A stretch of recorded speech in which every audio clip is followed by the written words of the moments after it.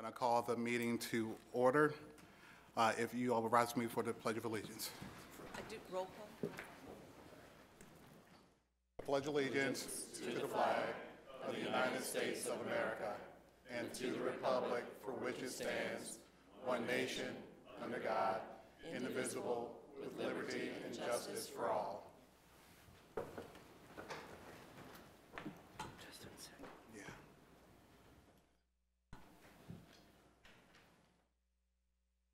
All right, Move adoption of the ag- agenda. like- would you like me to take roll Uh, call? Excuse me, Ms. Goodell, if you would take roll, please. Mr. Ankuma? Aye. Mr. G- Ms. Gill? Aye. Mr. Lawrence? Mr. Reitinger? Here. Ms. Ward? And Mr. Webb? Here. And just to let um, folks know that uh, Mr. Castillo um, is not feeling well tonight, will not be joining us. All right. And now if I would ask for uh, adoption of the agenda for this evening? Uh, So moved? Is there a second? All right, all in favor? Aye. Aye. Okay. And we'll move on to the the fun part of the evening of the swearing in of the new school board members. So if, if Greg, Shauna, and Shannon would join me uh, for taking the oath of office. Yeah, yeah. And we'll, do- we'll do them individually. I'll, great. Good evening, Mr. Chairman and members of the Falls Church City School Board. Uh, My name is Paul Ferguson. I'm the clerk of the court for the city of Falls Church and Arlington County, and it's an honor to be with you this evening. I say this all the time, but I sincerely mean it, having uh, spent my career in local government uh, and not having ever served on the school board. Being a member of the school board is the toughest job in local government. So uh, I commend all of you for the job that you're uh, about to take on for the new school board members and for those of you that are serving now on the school board. So,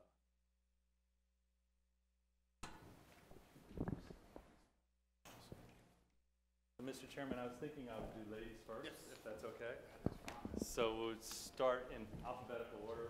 Liz Shannon Litton would come before Shauna Russell, if that's okay.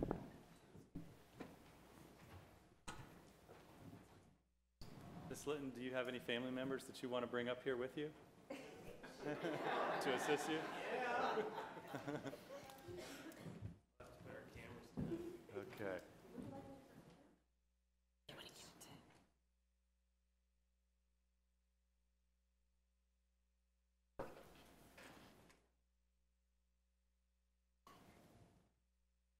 Ms. Litton, would you please raise your right hand? Do you, Shannon Litton, solemnly solemnly swear that you will support the Constitution of the United States and the Constitution of the Commonwealth of Virginia, and that you will faithfully and impartially discharge all the duties incumbent upon you as a member of the City of Falls Church School Board for a term commencing January 1st, 2018, and ending December 31st, 2021, according to the best of your ability? I do. Congratulations. Thank you. You need to sign this form.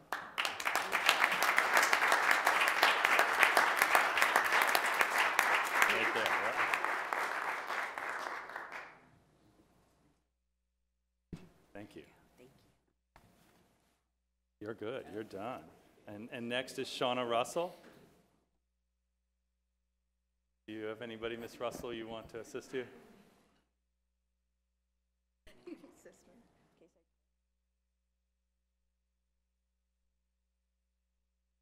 Welcome. Miss Russell, would you please raise your right hand? Do you, Shauna Russell, solemnly swear or affirm that you will support the Constitution of the United States and the Constitution of the Commonwealth of Virginia, and that you will faithfully and impartially discharge all the duties incumbent upon you as a member of the Falls Church City School Board for a term commencing January 1st, 2018, and ending December 31st, 2021, according to the best of your ability? Congratulations.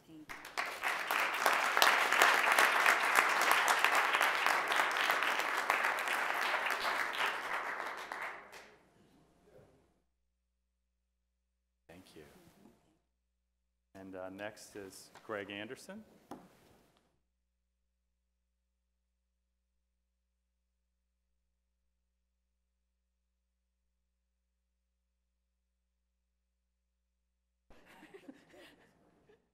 Good evening, Mr. Anderson.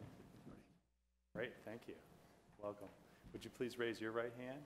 Do you, Greg Anderson, solemnly swear or affirm you will uphold the Constitution of the United States and the Constitution of the Commonwealth of Virginia, and you will faithfully and impartially discharge all the duties incumbent upon you as a member of the Falls Church City School Board for a term commencing January 1st, 2018, and ending December 31st, 2021, according to the best of your ability?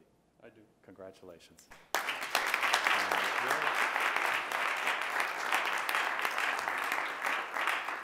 And Chairman Webb. All right, Thank you. Of course, you have to be uh, elected chair by your colleagues. You are uh, taking an oath um, as a member of the uh, school board uh, to continue on. Yes, sir. Would you please raise your right hand? Do you, Lawrence Webb, solemnly swear or affirm that you will support the, uphold and support the Constitution of the United States and the Constitution of the Commonwealth of Virginia, and you will faithfully and impartially discharge all the duties incumbent upon you as a member of the Falls Church City School Board for a term commencing January 1st, 2018, and ending December 31st, 2021, according to the best of your ability? I do. Congratulations once again.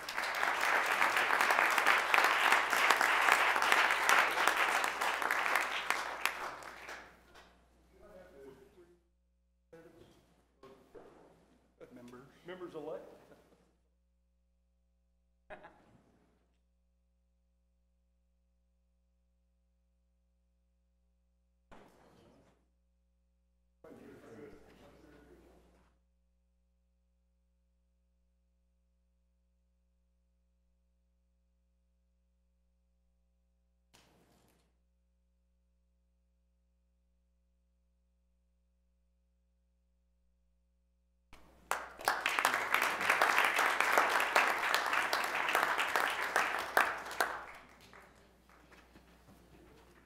Mr. Chairman, uh, I know there's uh, certificates that need to be presented by the electoral board. So I guess they'll have to come back.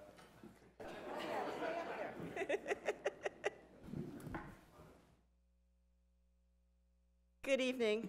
My name is Renee Andrews, and I am proud to serve our city as Secretary of the Electoral Board.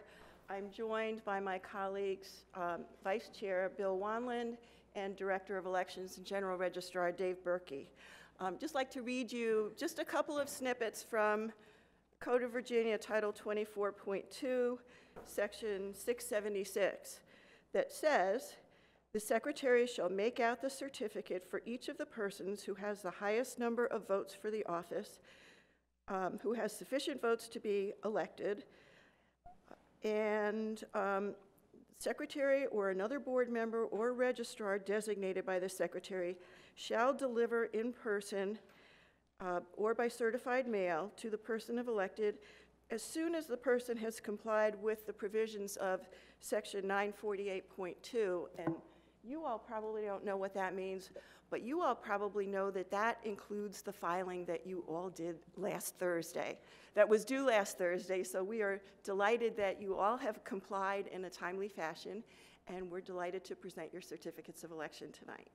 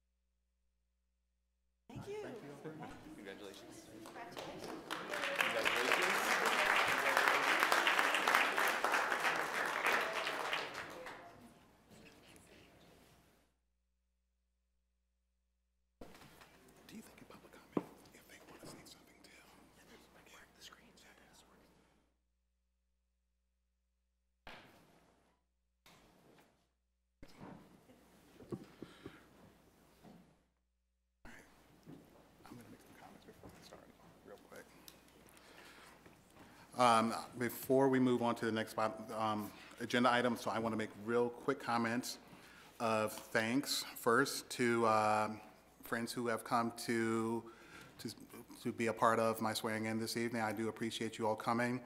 Um, I want to give special recognition to my partner Clifton Taylor, who for another four-year term is going to to deal with me in, in some late evenings that come with being a part of this job. Also want to thank Greg Patterson for his help in being the uh, chair for my, um, for my uh, treasurer for my campaign. I do appreciate the, uh, the assistance that you gave. Looking forward to uh, my three new colleagues uh, joining us in January, and I'll hold the other comments for my uh, colleagues who will be leaving the board at the end of the year. Thank you.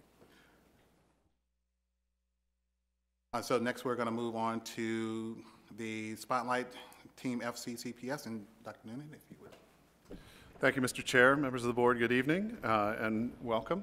Um, As you uh, know, we are starting a new tradition um, here in the City of Falls Church, where at each school board meeting, we'll be doing a spotlight on something in our division that highlights uh, how we work together as a team.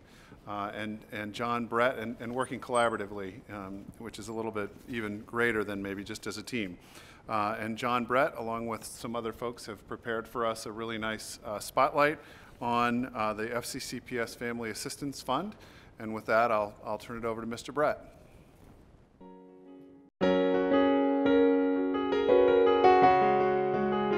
The Family Assistance Fund was started about 10 years ago when we discovered there was a need for families that it couldn't always be filled by school funds. So, things shoes, coats, hats, school supplies, things of that nature. We do have people who are struggle, struggling with poverty in our own city, yes. There's so many people in, the, in Fairfax County and the City of Falls Church that um, people were not getting adopted in their adoptive family um, programs. And so Susan and I decided that we wanted to do it in-house. I think we've at least tripled our number of students. I think the first couple years we were probably in the 20s, the maybe low 30s with the number of students we helped, and we're close to 100 students now. So if they're missing school because they haven't been able to go to the doctor because they don't have insurance, or they haven't gotten their prescription filled, or you know they don't have whatever they need to get to school, we try to help the parents with offsetting those costs.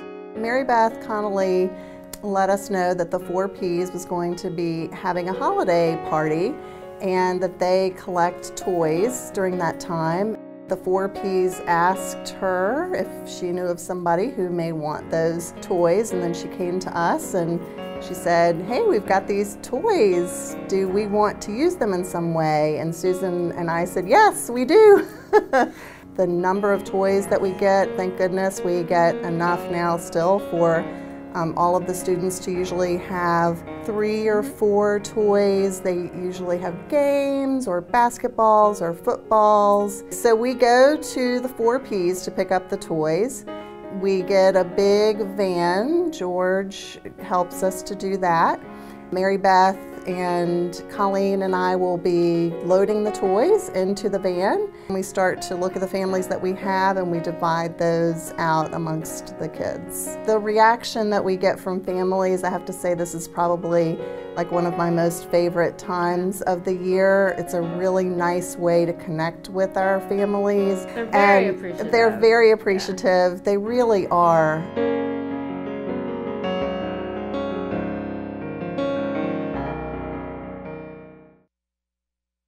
Mr. Chair, we have some members of the team that have put together our uh, Family Assistance Fund, and some of them are here tonight. And publicly, I'd like to thank you for, on behalf of the families in the City of Falls Church, for your incredible work and what you do. Um, But the board may have some questions, so, Mr. Chair, I'd turn it over to you. Thank you very much. Um, Again, I would uh, echo Dr. Noonan and say thank you for the, the very hard and dedicated work that you all do assisting, assisting these families here in the city of Falls Church. I want to see if any of my colleagues have any comments or anything. Ms. Gill? So I'm just curious, and this is not a budget question. How is, how is the program funded and how can the community help to continue the program? Um, So all of the donations are um, are, I guess, uh, solicited really kind of in a way um, by our community, and some of our teachers and staff also contribute to the fund. Um, We also, um, more recently, because other community members have heard about it, we have um, some other agencies now that are contributing to us, but mainly it's individuals within our community who have heard about this and contribute to this fund. No, it's great. I- This is actually the first time I've heard about it, um, even though I'm on the school board. So I think it's great, and I'd love to get the word out more so that more people can contribute. Yeah. And we're going to start to kind of promote a little bit more within the community, like on some of the listservs, some of the moms groups, things like that. Um, a lot of the businesses that Mary Beth works with, we're going to try to co- coordinate more with them as well. So hopefully we'll get the word out even more. So definitely email me, put on Falls Church City Parents. Yeah. Yep. Thank you. Mr. Lawrence? Uh, Sort of the flip side of uh, how do you get contributions is how do you identify people? I mean, how do you get the word out? Because, you know, there could be some reluctance about, you know, coming out and asking for help, but people need help whether or not they're, you know, willing at some point to ask for it. So how do you, how do you actively find who needs it? Well, these are families that we know, um, a lot of them, because we're the school social workers, and so we tend to know those families. Um, But we also work with our staff and teachers to, as they make relationships with families, students in their classrooms, they get to know them and they let us know if they're hearing about a problem, uh, not a problem, but um, if a need um, within the family, and we, um, that's how we identify them. Okay, but it's, it's there's- not just people asking, it's, it's you go- a- No. actively looking and, and No, we- offering where you Right, can, we okay, are, good. we are out there um, asking them if they need help. But sometimes they do come to teachers and, and they let teachers know that they need help, and then we reach out to them and help them. But, but usually they're families that we, we already have contact with and we know them. And there definitely is a stigma for some families that are not even willing to even want to participate. I mean, they might certainly qualify, um, I mean, well below the means of poverty level, but we do have those families that are, are appreciative of the help, but just might not accept it either because they just, the stigma attached. Mr. Reitinger? I actually don't have any questions. I just wanted to thank you. It's, it's a wonderful program. Um, I want to thank Mr. Brett as well. It was a great video. Um, I, know we're planning on putting it up on the website, but I, I would, I, it's a wonderful, I'd love to do more to help general community awareness, and I'm sure most of my school board, fellow school board members would as well. Um, It's, it's, it's a great opportunity, and it seems to me that there's a lot of, that we could do, we could, we as a school board could do more to continue to drive and enhance the program. So thank you very much for your time. Thank you for your effort. I really appreciate it. Ms. Ward? Uh, I just know as school social workers, you are overwhelmed with your day job, and to take this on, I know is a big, is an extra, extra burden, but a burden of love, I can see that.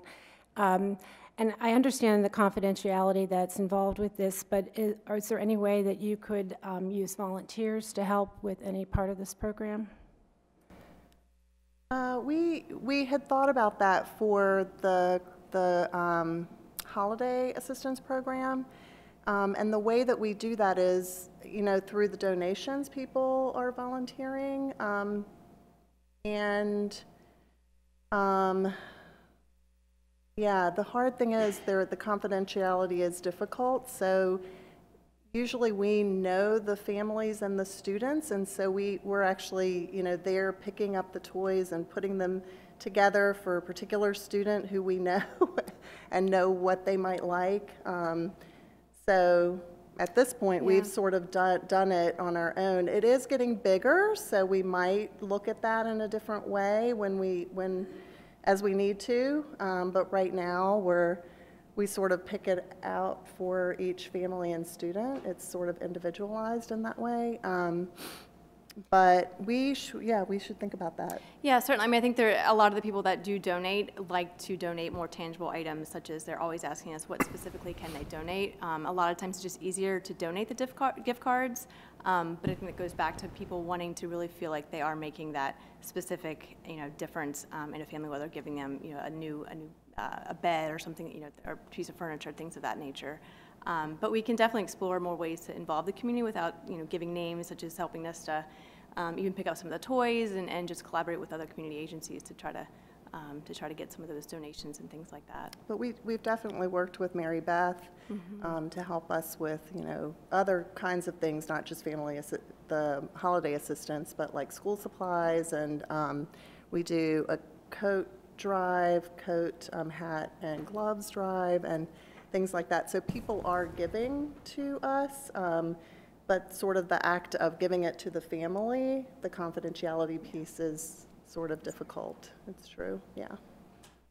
Thanks, Margaret. Thank you. Anyone else? Yes, Dr. Noonan? Yeah, just uh, one last thing, and, and that is, uh, again, thank you so much for your support of our community.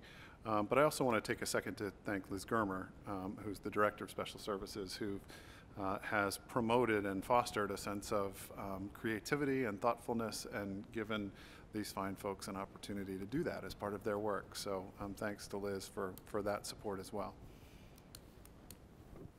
Thank you very much. Thank you. Thank you.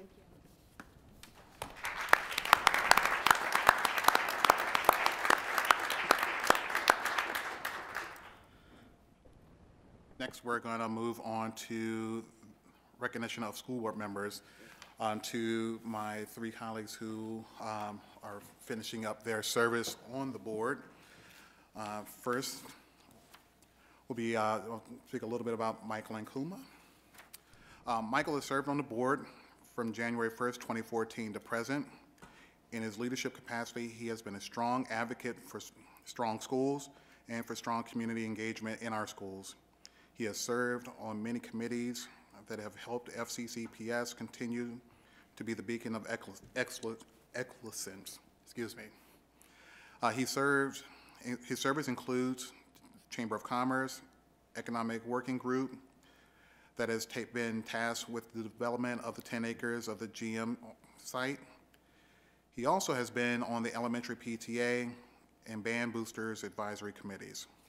Uh, Michael has been a great friend to me, uh, serving on the board and prior to the service of the board. Uh, Michael is the guy who I know I can pick up the phone, call if I have a something I'm working in my head and trying to figure out if it's gonna flow well. Michael's the guy who I can pick up the phone and call and ask those questions to. And Michael can be uh, quite frank when he uh, gives you those responses, so you always know where, if it's gonna be something that's gonna go smooth or something that may need a little bit more tweaking and working with. And I've definitely appreciated that with Michael over the last four years um, being on the board. Uh, Thank you for your dedication and service to the board, Michael.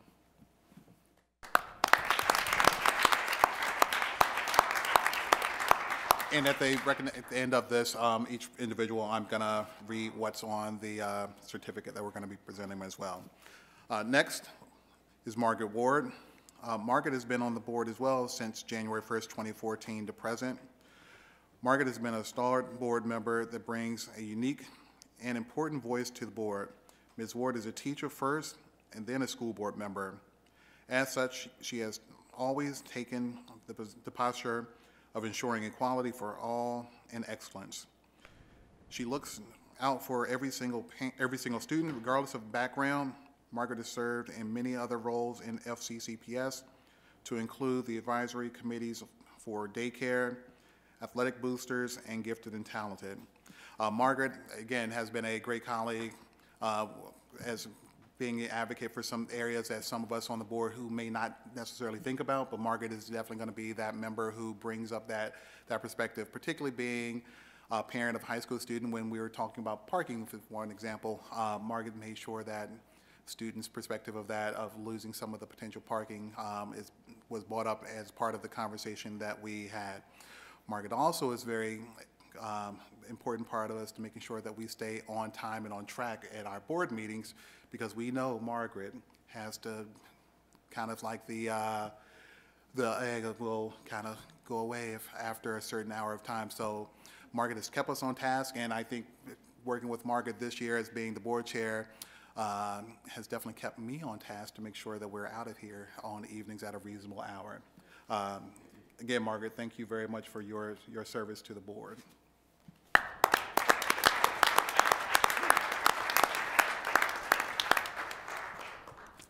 And finally, uh, John Lawrence. John has served on the board from October 1st, 2012 to present, and as vice chair from July 2013 to December 2014, and again from January 2015 to uh, December 2016. John has served with dignity and has always been a person who keeps us on our toes when it comes to procedures and policies. His eagle eye has ensured that our work as board uh, our work as board serves everyone well. As a former chair, vice chair, John has been instrumental in moving many ideas and issues of the board forward and has always sought to find resolution that meets the needs of all, most importantly, the students we serve. John has served in a variety of roles in FCCPS as a board member to include liaison to the Education Foundation, the Mount Daniel ASAC, and George Mason PTSA advisory committees. Uh, John definitely, uh, that line in the beginning of it uh, keeps us on task. Uh, of me taking on this year of being board chair, John has definitely been a person who has been um, a great assistance to me, getting um, my, uh, my bearings of the Roberts rules. Uh, so it has definitely been a help to me. Uh, John, seeing uh, John in many other capacities, working very hard with the Mount Daniel project um, from its inception to now we're seeing the project moving forward. And he has been a very um, strong advocate of that particular project. Uh, John, again, I want to thank you for, uh, for your service to the board and the serving with you over the last four years.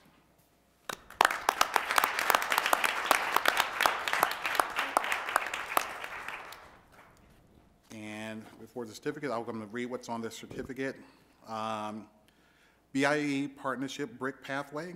A commemorative brick has been purchased for you and it will be installed in the BIE Brick Pathway at George Mason High School. The following text will be engraved on each brick, and I'll, just for each person, will have the same thing. Uh, for Michael, Michael and Kuma School Board Member, FCCPS, uh, 2014 to 17. Margaret Ward, School Board Member, FCCPS, 2014 to 17. And John Lawrence, School Board, FCCPS, 2012 to 2017. The brick will be a permanent pl- pla- permanently placed at the auditorium entrance of George Mason High School as a lasting tribute to your connection with Falls Church City Public Schools. And as you all know, with, uh, as we're moving forward with the brand-new uh, George Mason, you will be a brick that will be in uh, our brand-new pathway to the new auditorium of the new high school. So if each of you stand, we'll do a picture real quick, and I'll present you with your certificates.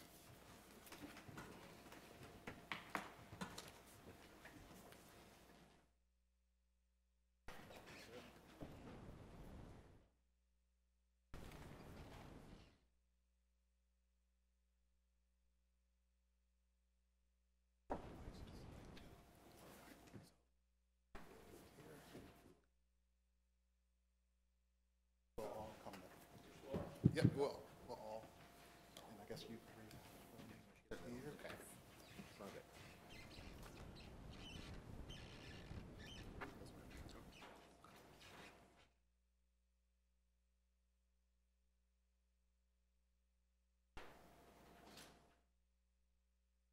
All right, give me a look.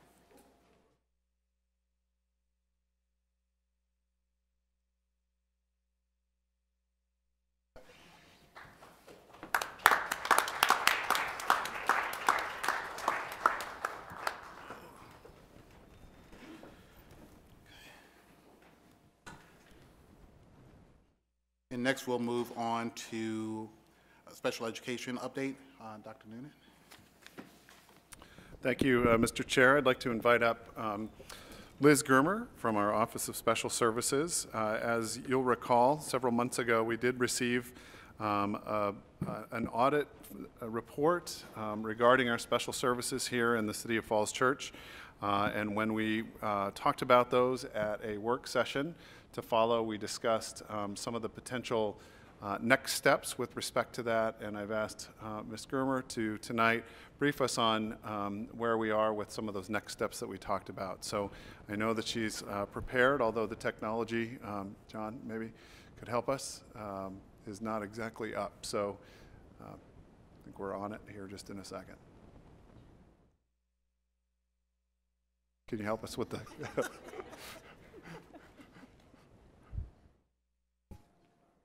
I'm sorry, I thought you had. That should work.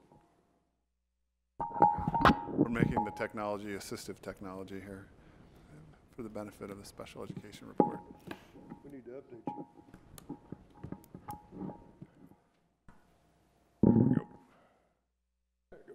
All right. Thank you, John. All right, Ms. Grammer? Good evening, everyone. And thank you for giving me the opportunity to give you an update on where we are and where we're heading in terms of special education.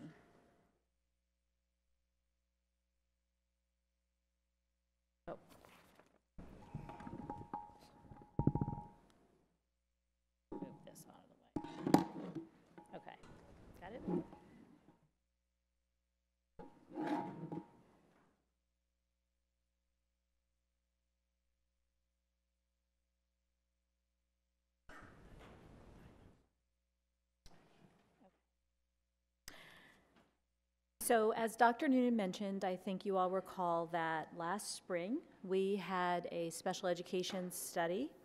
Um, and the result of that uh, study, which included a variety of things such as surveys, observations, focus groups, review of records, resulted in a report that is still on our website with 54 recommendations. So since that study has been completed, we've taken the time to review the recon- recommendations and kind of analyze our current state. There were some things in the recommendations that were already in place or in motion. Um, we needed to identify what are we already working on, what are the recommendations that we feel are priority ones for the first year, uh, what about the next two and three years heading out, and then come up with an action plan because we know we can't implement 54 things in one year. Um, and we also wanted to make sure that those items that we identified to work on aligned with our new triennial work plan and our strategic plan. So we want to make sure that what we're doing meshes with the goals and priorities of the division. As you look at all the recommendations that were made, I, I can kind of lump them into sort of four different sort of buckets. Um, there were a number related to professional development, and those were professional development as it pertains to teachers, as it pertains to principals, related service providers. There were instructional support recommendations, supporting our teachers, supporting our students. Um, there were procedures and practices kinds of recommendations, looking at consistency with implementation, guidance documents, and so forth. And then there were recommendations that really fell under the category of community engagement. So, in thinking of our action plan moving forward, I kind of clustered our actions in each of these major themes. So, what are we doing this year? In terms of prof, I don't know why it's funny like that on the screen, John, but anyway, um, is for professional development, um, one of the areas that was referenced was um, the need for some additional training and support for our administrators. We have had um, a number of new administrators join our team. Um, some of them may have more or less experience and knowledge with regard to special education. So, one of the actions that we're taking this year is um, uh, we've purchased four courses on four key topics. Um, and as kind of a leadership team group, we are taking those courses together, one per quarter, and then having some conversations and review and reflection on those topics. Topics such as discipline, um, harassment, um, autism. There's, you know, different key topics that, that we feel are really important to make sure everyone has that basic tier one understanding of. So that's happening right now. We've already begun to focus on special populations. So, both for secondary and for elementary, we recently had a professional development afternoon. Teachers could self select. I was very excited that the middle and the high school principals self identified that mental health and autism were two key topics that their staff really needed some support in and were asking for. So I think one of the things that's really positive is there's a sort of a sense of urgency around some of these key topics that blend very nicely with the recommendations and the work we're trying to do moving forward. So that special population session has happened. We got really good feedback from the teachers, and we're developing plans for moving forward, how to follow up on that, and how to let grade level teams or department teams identify what areas they need to know more about. We're also focusing on job and job embedded professional development and support. So, for instance, looking at uh, the sixth grade team may feel that they need support in a particular area around a group of students. So, a little bit more student specific than the big sort of special populations workshop. So, we have worked out plans for, for instance, our behavior specialist is meeting with the sixth grade team and working with them during their planning time. So, looking for those opportunities to embed that support around specific student needs um, is one of the things that we're really focused on this year, especially at the secondary level, especially at the middle school right now is kind of our focus. In terms of instructional support, there's already, as you know, a lot of instructional support that's provided to our teachers. One of the recommendations, or a few of them, had to do with the collaboration between special education and general education. You should have just let me use your computer. I'm sorry. I have no idea why it's not doing. I don't know. Um, and, and that was probably something we really did need to enhance. Um, I think we worked well together, but in terms of having sort of structures and frameworks that fostered those professional conversations to be sure that we were all on the same on the same page, were happening a little bit more ad hoc. So right now, um, I'm meeting weekly with um, Lisa High and Summer Manos and Jeannie Seabridge to make sure we're all kind of on the same page with what we're doing. Um, Summer Manos is coming to some of our leadership team uh, meetings so that we're infusing RTI with special education topics. They're also participating in the, in the professional development uh, activities and courses that we're doing. So we're having more professional conversations across special and general education, which I think I feel really good about. Another area of recommendations had to do with walkthroughs and rubrics and, you know, how do principals know what to look for in certain types of classrooms or with certain specialty types of teachers. And um, one of the things I did right at the beginning of the year was share two different rubrics with all the administrators. It's not to take the place of the rubric that's used for our performance evaluation, but it does show, well, what does that particular item on the rubric what does that mean for a special education teacher who might be teaching a modified curriculum? What does it look like? What are some key look fors that are unique to, to teaching a child with a disability? Um, partly to give the opportunity for those teachers to be able to highlight the good work that they do. I did share the rubrics with the teachers as well and encourage them to think about those as they develop their own professional goals so that they could focus goals on the kind of work they do and also to identify areas within the rubric where they feel feel they might like some more support that we could provide. So there were two different types of rubrics that they received. One is more for special education teachers working kind of in a variety of settings, and one was really geared towards some of our teachers who are working with students who are not on the, working towards a, a standard diploma. Because I think those classes and sometimes students with intellectual disabilities, it's difficult for a principal, depending on their background, to know what does it look like, what do you expect to see in those classes. So those have been created and shared. School based supports have been in place. This isn't anything new, but with your support last year, we were able to add little pieces of people to increase our behavior specialist support so that now we have um, a full time behavior specialist supporting Mount Daniel and Jessie Thackrey. We have one full-time supporting middle and high school, and then one and a half still at TJ. The good thing about those positions is they are system-wide, so as the needs shift, we might need to shift a little bit if we find a heavier concentration in one school versus the other. But the feedback around the support from these individuals is very positive.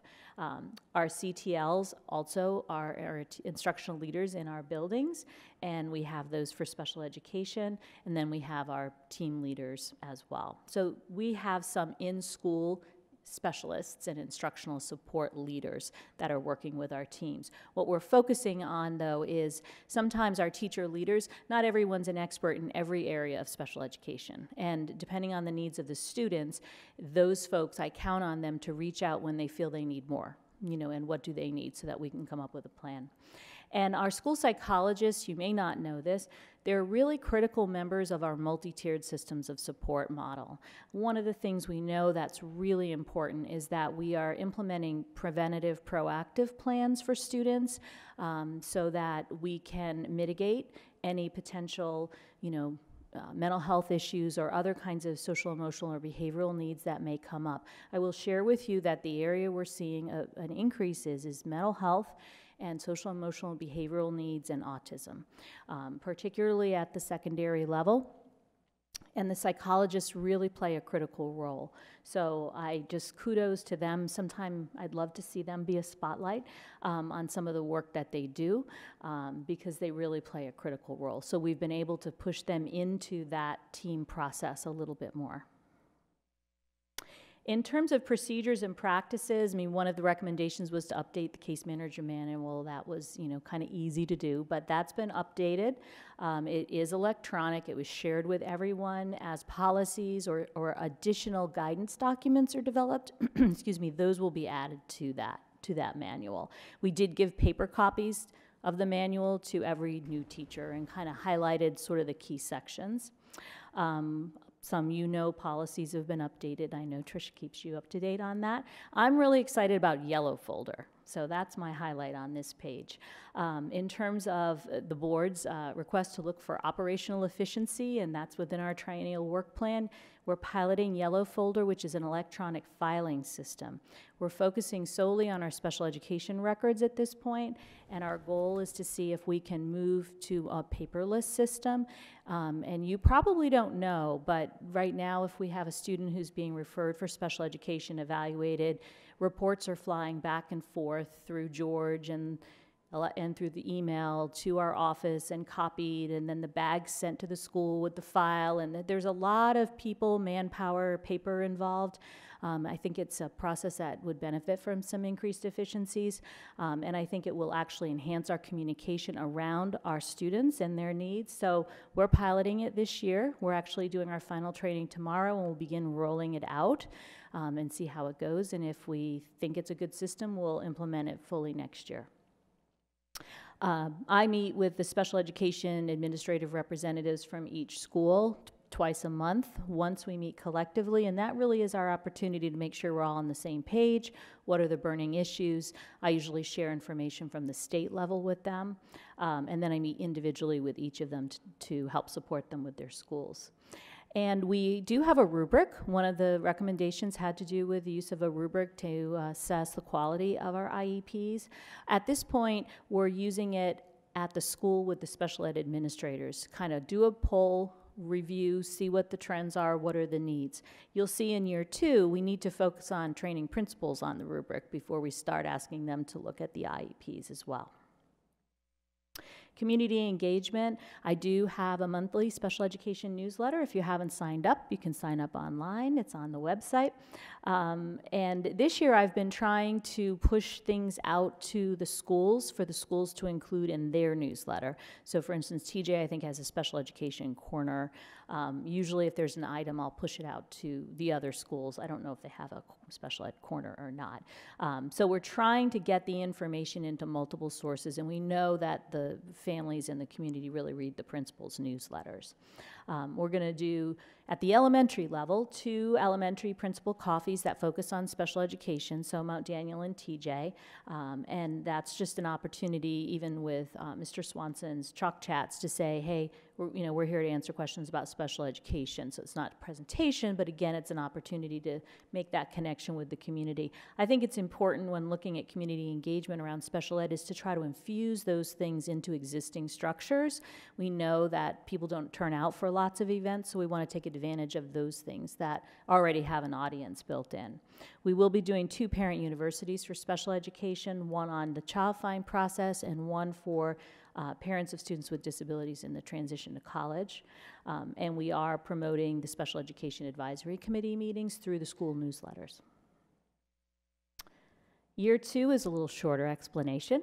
Uh, this is the plan, subject to change, of course, but in terms of professional development, we really are working on a professional development plan. What does that look like? What are the needs? What are the priorities? And I think we need to get into the nitty gritty of like when and how and who and what does it look like you know that's we kind of know the needs and we're tackling that but i think the next year really we need to get down to when and how and who um, and we need to focus on uh, professional development with the principals around IEPs so that they are able to look at those and include that as part of their evaluation process for special education. And as they sit in more IEP meetings, they have better information to know what to look for. We'll continue with yellow folder. I'm already determining that we're going to like it. Um, and we're going to focus on developing decision-making guides and tools for teachers. So those frequently asked questions, there's some place to go and look and see, and you don't have to ask somebody or call me. Um, instructional support really need to focus on data collection and progress monitoring. That's the next piece. How are we monitoring progress? We've focused a lot on SMART goals and the development of SMART goals but we need to do more in the area of progress monitoring. Um, I think we need to revisit and refocus on co-teaching, and particularly at middle and high school. We're actually doing much more co-teaching now at elementary. I'm really excited about that, especially at TJ. Um, we've really got some great models in place. Those teachers are, they're truly modeling effective co-teaching practices, and that's really exciting. We've never had that before. Um, and then autism and behavioral supports is going to be an ongoing need. Related services, I am meeting quarterly with the related service providers. That was another recommendation. We're meeting next week and really looking at their needs. I think that they sometimes are also a forgotten group. Um, because they have unique needs in terms of their own professional development, um, their own resources, their own assessments, and things like that. So I think they appreciate the opportunity to be heard. And community engagement, uh, we have already started to do this a little bit. we are doing our meetings at uh, each of the schools, and at each of the schools this year, uh, the, some folks are presenting, highlighting some of the practices and sort of initiatives and focus that they have in their particular buildings. But I think the committee is really committed to doing more parent workshops. We've had the uh, representative from the ARC come to the last meeting, and the committee has chosen a topic the ARC has a grant and they're going to be doing something on executive functioning. So there's a lot more uh, community and parent outreach with that committee. Um, and then each school will have one parent coffee. So this year we're going to have two parent coffees or two meetings at schools. Next year we'd like to have one at each building. We do have a parent coffee every month at Jessie Thackrey, so that's already happening. And finally, year three, uh, the Schoology course. I actually have already started this. I've already got, um, I've got the case manager things in there. I've got uh, other resources and documents. I just haven't made it live to anybody. Uh, but that would be sort of your go-to place where all the information would be kind of housed, which is easier than going to Google Docs and finding everything. Um, so I think that could be a really helpful tool. Um, instructional support, really, again, I can't emphasize enough the focus on mental health. Um, and then uh, continuing to get our guidance documents on our website. We need to always be updating. Right now, we need to update. We have outdated forms on the on the website, so trying to keep up with that. And thanks to John Brett for always helping when I'm like, ah, can we put this on the website? Um, huh? Yeah, well, that's okay. Um, and then the parent resource materials, really trying to look at how can we partner with the library? How can we get materials out there for parents and the community? Like, what makes sense for that? We know we don't have the ability to have a parent resource center. I'm not even sure that that would be the best way to do it. Um, but w- do we have parent liaisons? You know, what, what can we do to increase that homeschool connection around supporting our students and our parents who have children with disabilities? So looking ahead, you all will have budget requests, of course. Um, and again, the disability trends. I think that's really, really important. You know, often we'll look at a number. We have X percent of students with disabilities, or we have this many students at this school or that school. But it's really important to understand the complexity of the needs. Each student is, is unique, and not all students have the same needs. So it really is really based on, any request that I ever make is really based on needs of students and what do our teachers need in order to meet those needs. That's all I have. Any questions? Uh, Thank you very much, Ms. Garmer. Uh, Are there any questions from- from board members? Okay. Um, Ms. Ward? Would like to say I, I love what I've seen, um, this presentation, and I'm particularly impressed with the courses that you're providing for the principals and the general education teachers. Um, special education is such, um, it's its own unique type of educating students, and a lot of, a lot of general educators don't necessarily understand it. Some do, um, but they don't because it's not part of their program when they're studying. So um, I think that will go far um, towards helping support our, our kids with special needs, and um, I'm really happy to see that. Thank you. Mr. Lawrence? The, the yellow folder you mentioned, how digital can you go? Because, you know, I, get- I get the feeling when it comes to, to special ed, the process sometimes takes over. And there are a lot of forms, there's a lot of papers, there are a lot of meetings. Can you go completely digital with something like this? I mean, it would, it would be wonderful. I'm just fearing that the process is against you. You, you actually can. That being said, I'm sure there'll be times where we have to print something, scan, and upload it. Um, the way the system works, we've um, submitted records that have been scanned to teach them how to recognize our documents in terms of putting them in folders. So each student will have uh, the folders, and the system's been trained to recognize so that when we do an IEP, when we select print and you go down, you have yellow folder, and it goes into yellow folder. We're in the process of updating our forms to make them all, make sure everything's fillable, and it does take an electronic signature. If we have a parent who really wants to, you know, sign, we can sign and upload, you know, that one page and just move it into the folder. So all of our forms are already electronic, and uh, probably 95% of them are fillable. Um, we're, we're fixing the last few that we have that don't have that capability. So then, really, it can all be done in that system. We still have to have a uh, paper cop, like paper copy or two at the actual meeting. That's kind of we have to have that, um, but we won't have to be making you know five and six copies. The other thing I like about it is right now. Um, the way our system works is parents get a letter and we have to provide a copy of the evaluation so many days prior to the meeting. And the letter says, come to central office and pick it up. Because we are collecting, we are copying, we are collating, we are making the files. And, you know, that's just not convenient, super convenient for families. With this system, you actually can email the, all the reports in advance in an encrypted email so that they are getting it. If they don't have email, obviously we would provide it another way. But that will increase, I think, the likelihood of parents reading it or at least, you know, having it in advance because not everyone can come and pick it up on a Thursday afternoon. Um, and so they will get it. We will have a record that it was sent. We can see, you know, if they've opened it. Same with our general education teachers. We can share the IEPs through the program to all the general ed teachers who serve that child rather than what we're doing now, which is print, scan, upload, Google Drive, share, permissions, you know, every, I mean, it's a, it's a lot of, of paperwork. So this will make it, I think, more manageable. I'm sure there'll be bumps along the way. That's why we're trying it out.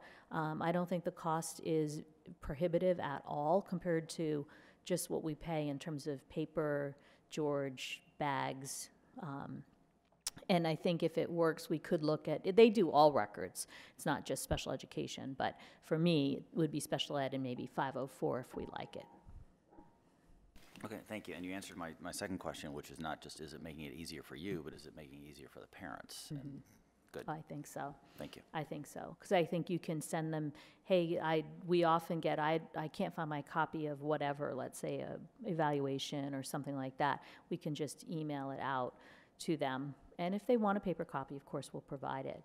Um, But if they want to have access to all those records, we can email those records. We don't have to print them. Any other comments?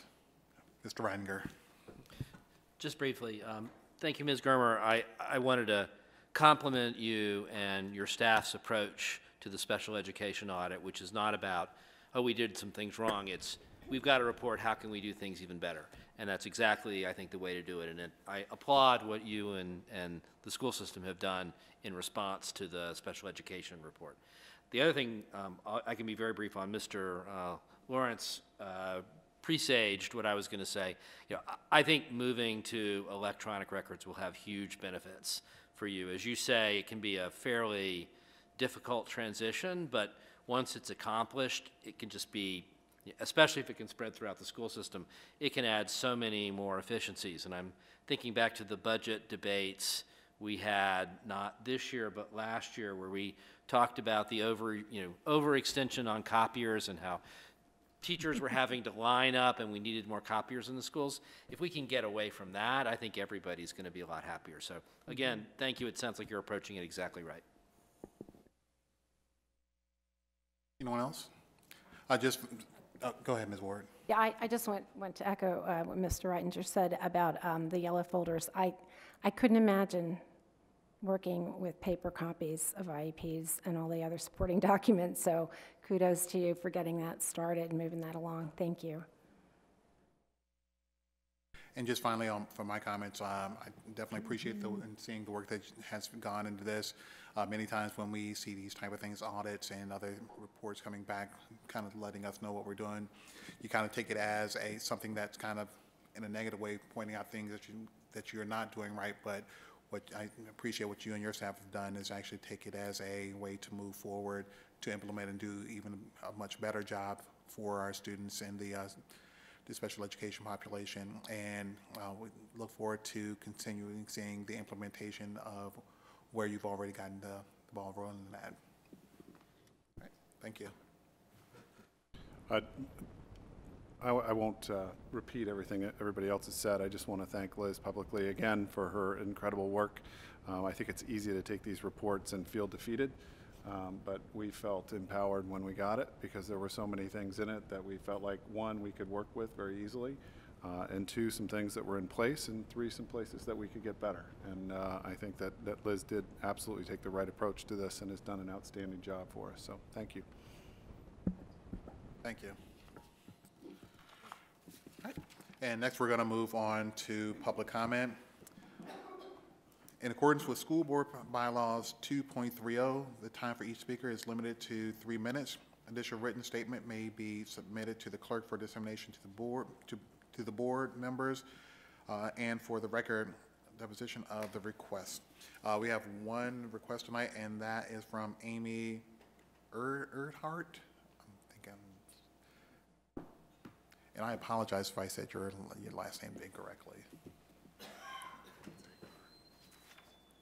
Yes, good evening. My name is Amy Urquhart, and it's a pleasure to be here tonight. Uh, Dear Chairman, Vice Chairman, Dr. Noonan, and the school board, um, it's my honor to be speaking before you tonight.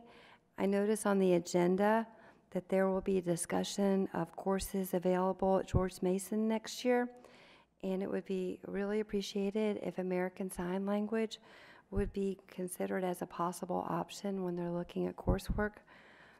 For students who have difficulty with language processing, such as dyslexia or others language-based disabilities or difficulties, American Sign Language would be an ideal option as a world language. Thank you very much.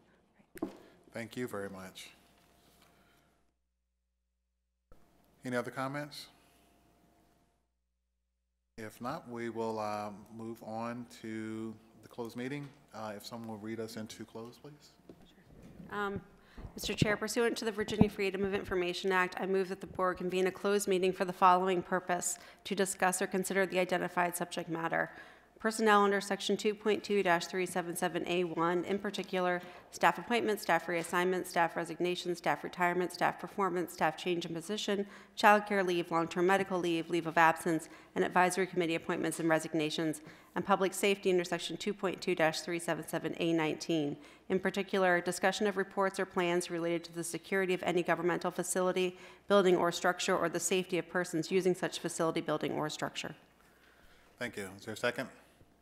Second, and also a question, are we going to have our um, members-elect join us?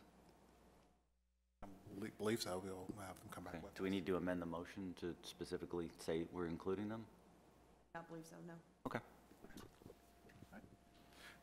Ms. Goodell, if you Yes. if Uh, you would Mr. call the roll. Angluma? Aye. Uh, Ms. Gill? Aye. Mr. Lawrence? Mr. Reitinger? Yes. Ms. Ward? Mr. Webb? Yes. Thank you.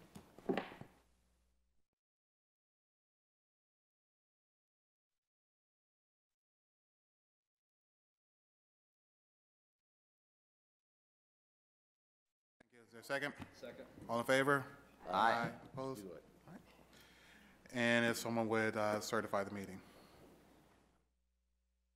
Sure. Um, Mr. Chair, uh, whereas the Falls Church City School Board has convened a closed meeting on this day pursuant to an affirmative recorded vote and in accordance with the provisions of the Virginia Freedom of Information Act, and whereas Section 2.2-377B of the Code of Virginia requires the certification by the school board that such closed meeting was conducted in conformity with Virginia law, now therefore be it resolved that the Falls Church City Public School Board hereby certifies to the best of each member's knowledge one, only public business matters lawfully exempted from open meeting requirements by Virginia law were discussed in the closed meeting to which the certification applies.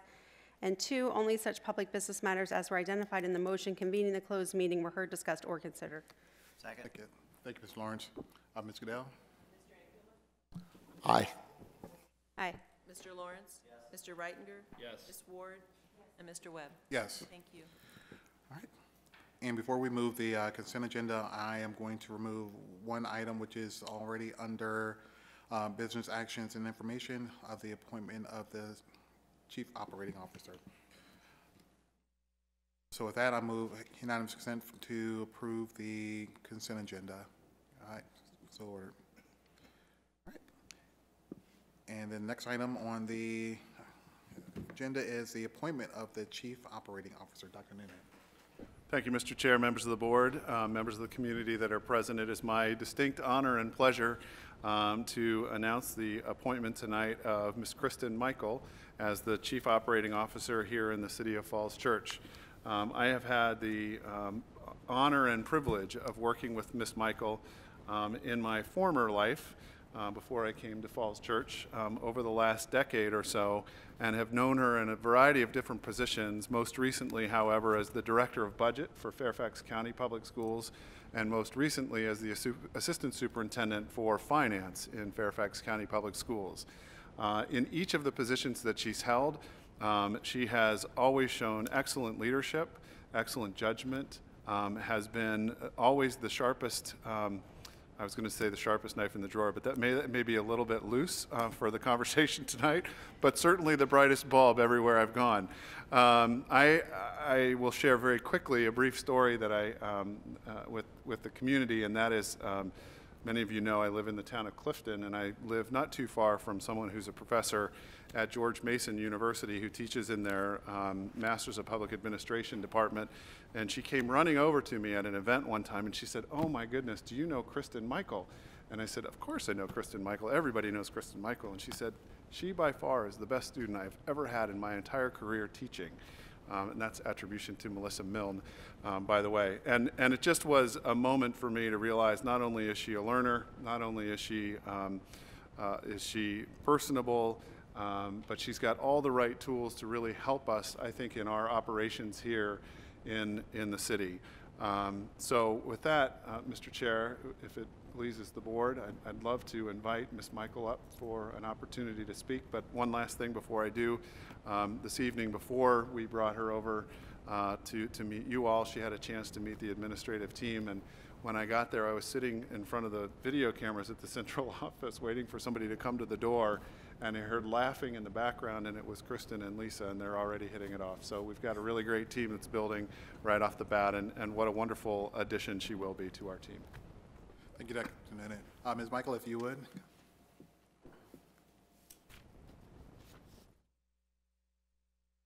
Thank you to the chair, the school board, and Dr. Noonan. I'm truly honored to be joining Falls Church City Public Schools as your chief operating officer. I value the trust that you're placing in me, and I commit to always put the students and the employees and your community in all of my daily activities, and will put them in the forefront of my thoughts as I work to build a collaborative, um, engaging attempt um, to continue to improve the work that, that happens here every day. Um, I know this is just a fabulous team of people, um, and I am thrilled to be joining them. Um, throughout my career, I've felt truly blessed to have worked with really great and inspirational people, people I've worked for, people that have worked for me, and I really will bring that spirit of optimism and collaboration um, as I work to serve your students. So thank you so much for this opportunity. Thank you very much.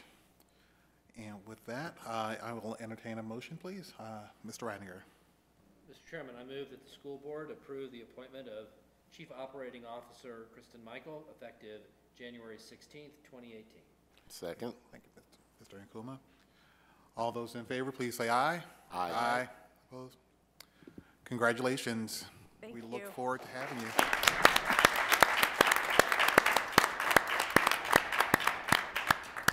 Looking forward to working with you here uh, on January 16th.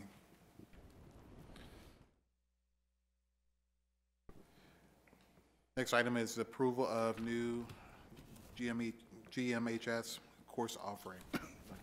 Yes, thank you, Mr. Chair. Um, I want to welcome um, Mr. Hills, Mr. Matt Hills, principal at uh, George Mason, and Alana Reyes, uh, director of school counseling for the City of Falls Church, um, this evening, who are going to share with you their proposals for some new courses at the high school.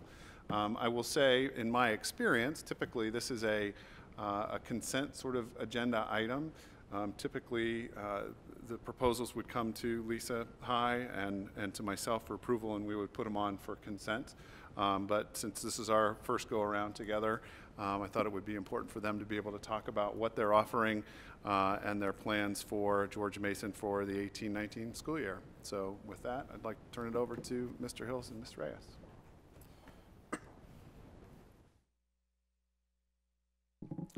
Thank you, Dr. Noonan, and thank you to the board members for giving us an opportunity to speak tonight about some of our new and revised course offerings. Uh, First, I'd like to start off by once again cor- congratulating our newest board members. We're very excited to work with you uh, as we continue to make a commitment to excellence throughout uh, the entire Falls Church City Public School District, so thank you.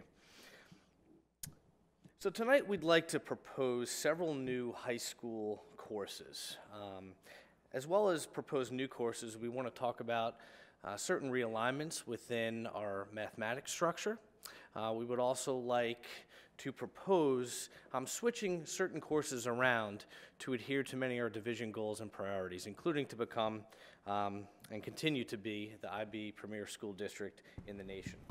Uh, Before I give Director Reyes an opportunity to describe the potential course offerings, I wanted to talk a little bit about the process that we used.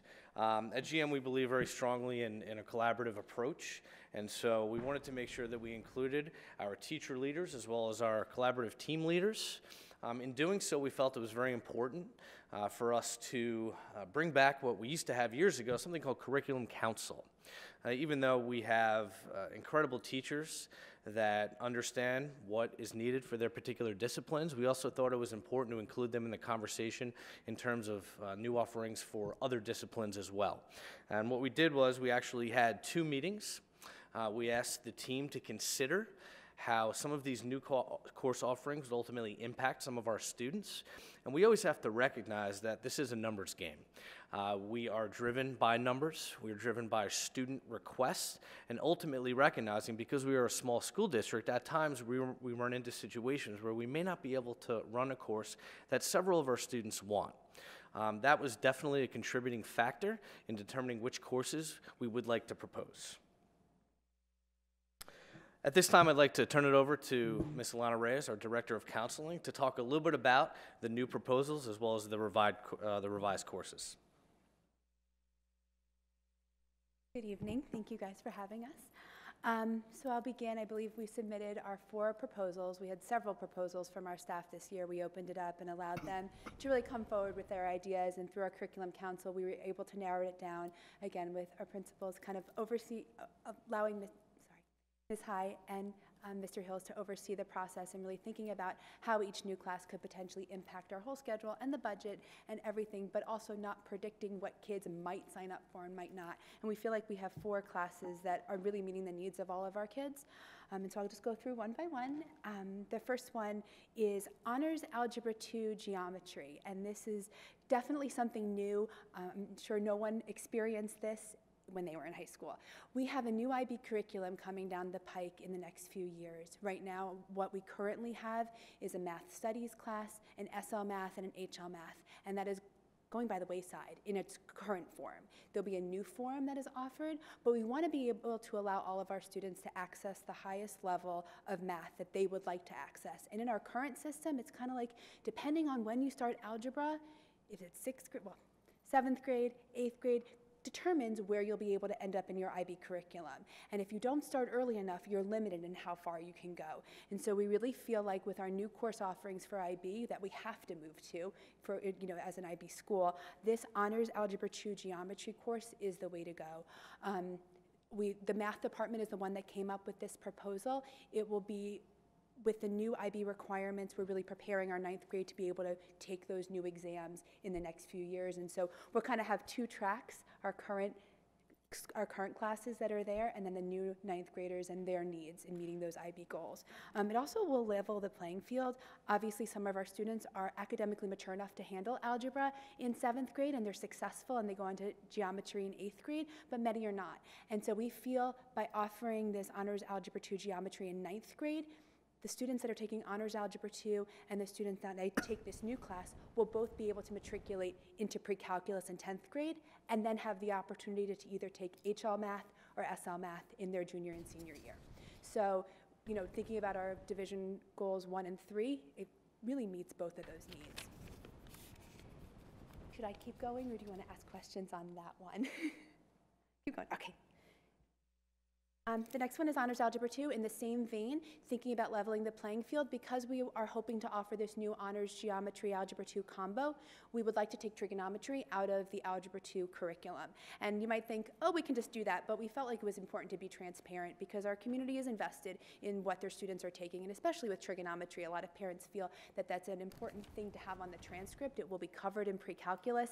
It is an honors pre-calculus trigonometry course, and we feel like that really meets the needs of our students. So that is really the only, again, it's leveling the playing field for all of our kids to be able to access IB, whether it's HL or SL. Um, the next course is IB Global Politics. We currently offer a class called International Relations, and it's, I'd say, one of our most popular classes. Our current teacher has really grown the program over the last two years. Um, it's kind of one of those hot items that a lot of kids want to take. And what we have found is she has built the curriculum around for international relations around the IBSL Global Politics curriculum. There's a lot of commonality, commonalities that she uses in both. And so she wanted to offer this IB Global Politics. It would be a one-year SL class, and we would like to offer that class in a replacement for international relations. What we've also found for international relations is a lot of our students that might not access higher level classes are taking that class and are being successful, and we feel like we could access that same population of kids that might be reticent to take some IB level courses, but they could be successful in the IB Global Politics class. And the final one is the IB Design SL. It's a one-year course. Right now, we currently don't have any. We don't offer any courses in our design tech sequence that meet the that go to the IB level. So we have lots of classes like robotics and engineering and architectural drawing that really meet that basic need. But if we have so many students in that capacity that want to continue to learn in that field, but we don't offer it at the IB level, and we really feel like this is the next step in growing that program. We're also aligning our current programs in our design and tech field to really make it a more structured, tiered approach. You kind of go through a design one, design two, and then moving, moving into IB design. Um, so we're hoping to build that program and kind of grow the capacity of our makerspace and our robotics. Any questions? Questions, anyone? Comments, questions? Mr. Lawrence? Uh, Just a quick question, question on the, uh, the IB Design Technology one. That's the only course that's not replacing something else. Correct. So you've got a faculty member who in their, their time, their caseload, their student load has enough bandwidth to be able to do this at least at the start? Because, I mean, let's face it, at the start, if something is popular, suddenly it explodes and the next year you've got a whole different problem. We really feel, and, and that's a very good point. We're interested to see where this population comes from. We can directly correlate where everywhere the other classes are going to fill from. Um, this one is a little bit different. We see that we do have the teacher capacity to accommodate this need. Um, we are aligning, right now we offer a three sequence of basic technical drawing, architectural drawing, and engineering drawing. We're, like I said, compacting that into a two course sequence and then going into here. I do think, you know, we have those kids that may go by the, that go by the wayside in this capacity in this field because we don't offer that next level. Um, I think some of them might fu- funnel into um, IB film. Sometimes it's a good fit, sometimes it's not. Maybe IB computer science. They might not be computer science kids, but they feel like they want to stay in that CTE ish designing technical field, and that's where they go, but their heart isn't in computer science. And so they kind of take their SL year and they're like, I'm done. Um, so we do feel like there is the capacity to accommodate that with our current teachers. That's a long answer. Other questions? Mr. Nkuma? Uh, and do all these have to be, are they already blessed by the IB program, or do you have, do you create them and then submit them for approval? It's blessed. I mean, Oh, if this okay. is, this is, these are IB to prog- program briefs. They've been created through IBO. We are just accepting them into our curriculum. Okay, thank you. Ms. Ward? So I just want to clarify, the IB Design Technology SL, that's, it's brand new, it's, it's, um, it's, it'll be a brand new course, and it's, it'll help us fulfill ultimately our IB goals, yes, in all areas, not just, I I see a lot, there's always a lot of stress on, you know, like the, the, um, the academics, like the math and history and all that, and it's nice to see this IB class in design. we And I don't will see tell enough you, of that. it's a group four class, and that's the sciences. And so you, if you have a student that really loves this, but they might be not, they might not be chem IB bound or IB bio bound, they would still have to fulfill the Virginia requirements for graduation, but they could take this and it would fulfill their, their, they potentially could earn an IB diploma where it might have been impossible before. So it's exciting.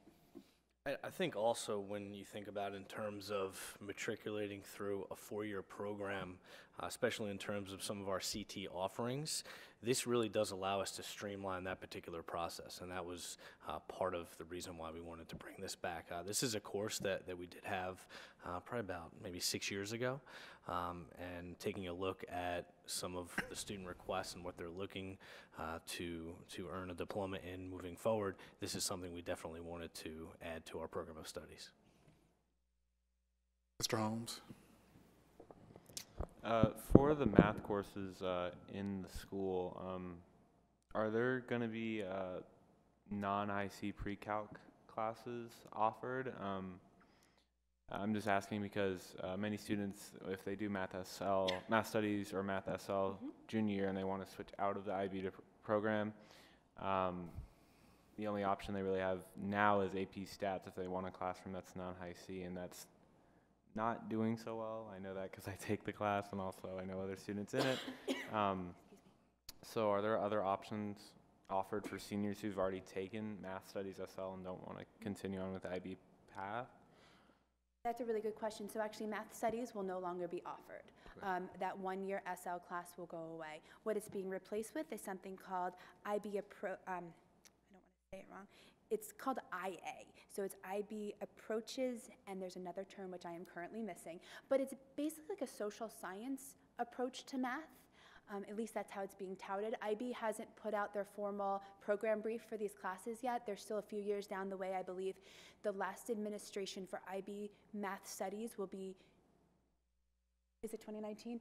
Um, and so we really have to get on the ball with this, but that class really will be actually a two-year course rather than a one-year if they want to take it as such, and so they can continue in that. It won't be as fast a pace as the other SL offerings. So I think for students that may have typically taken math studies, this is an amazing place for them to go and stay in IB. Thanks. Any other questions, comments? Dr. Um, Just a couple of policy um, implications that I want to make sure that the board's aware of with these. Um, And I think both get to um, Mr. Lawrence's uh, and uh, also Ms. Ward's comments. The first is um, with respect to these two IB courses, the Global Politics and the Design Technology. I hope one of the things you heard through the conversation, and I'm sure you did, is that we're really trying to make sure that the IB program is accessible for everyone um, and, and that we have offerings for everyone. We, we are into, uh, into a world where we need to make sure that we focus on fairness and equity in the curriculum and the, and the process of curriculum. And this offers an opportunity that's significantly different than what's available currently. Um, and then to Mr. Lawrence's uh, point, you know, do we have somebody that, that has the bandwidth to do this work? Um, one of the things, and, and Mr. Hills brought it up at the very beginning, this is a numbers game right? So there's no, there's no harm in putting this into the catalog as a potential for selection. But if we don't have enough students that are interested in taking it and it isn't selected, we're not going to run it. Um, so from a policy perspective, it's really important that we're all clear right up front that we need 15 students in these classes for them to make, uh, particularly in these tight uh, budget times, because if it isn't, if we don't have enough students, then we won't run it. Um, and so it wouldn't impact other course offerings as well. So just want to make sure that the board's aware of that as well.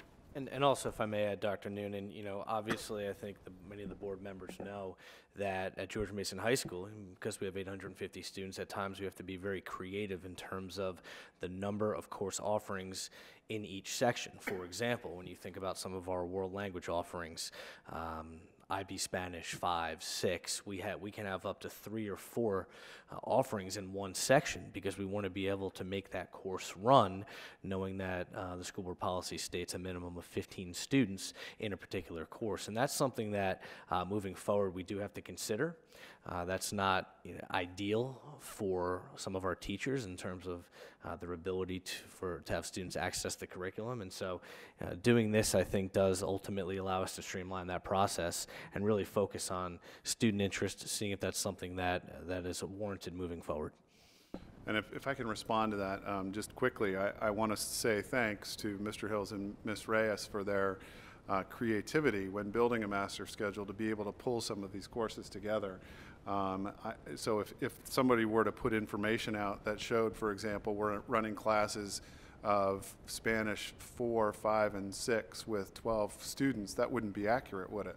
It, it wouldn't. You actually have to pull from all the different sections. Uh, it might show that, for example, our IB Level 5 class has six students coupled with uh, the IB 6, 7, and maybe the AP kids. And that's all being taught uh, under with one teacher in one particular class. And those numbers could reach an upwards of 18 to 20. Thank you. Any other questions? If not, I will entertain a motion, please. Um, Mr. Chair, I move that the school board approve the following new George Mason High School course offerings. Honors Algebra 2 slash Geometry, Honors Algebra 2 slash Trig, IB Global Politics SL, and IB Design Technology. Thank you. Thank you. Uh, Second by Ms. Ward. All those in favor, please signify by saying aye. Aye. Opposed? Thank you all very much. All right. Next, it will be um, discussion of the CFC Comprehensive Plan Review. Dr. Noonan. Thank you, Mr. Chair. Um, I'm going to invite Mr. Padilla up um, this evening to share with you some information about some work that's happening on the general government side with respect to the comprehensive plan and future land use plan amendments that they are looking to make over the course uh, within the next month and a half or so. Um, we are uh, as, as a partner with the general government, committed to sharing this information with you tonight. Um, And, and there are two ways that we can go tonight.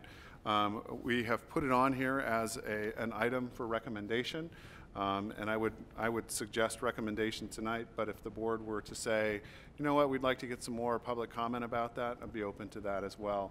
Uh, However, I think that it's a fairly straightforward um, move by the comprehensive plan, um, uh, in the comprehensive plan to look at how this information is going to be labeled in future maps. So with that, I'll, I'll turn it over to Mr. Padilla.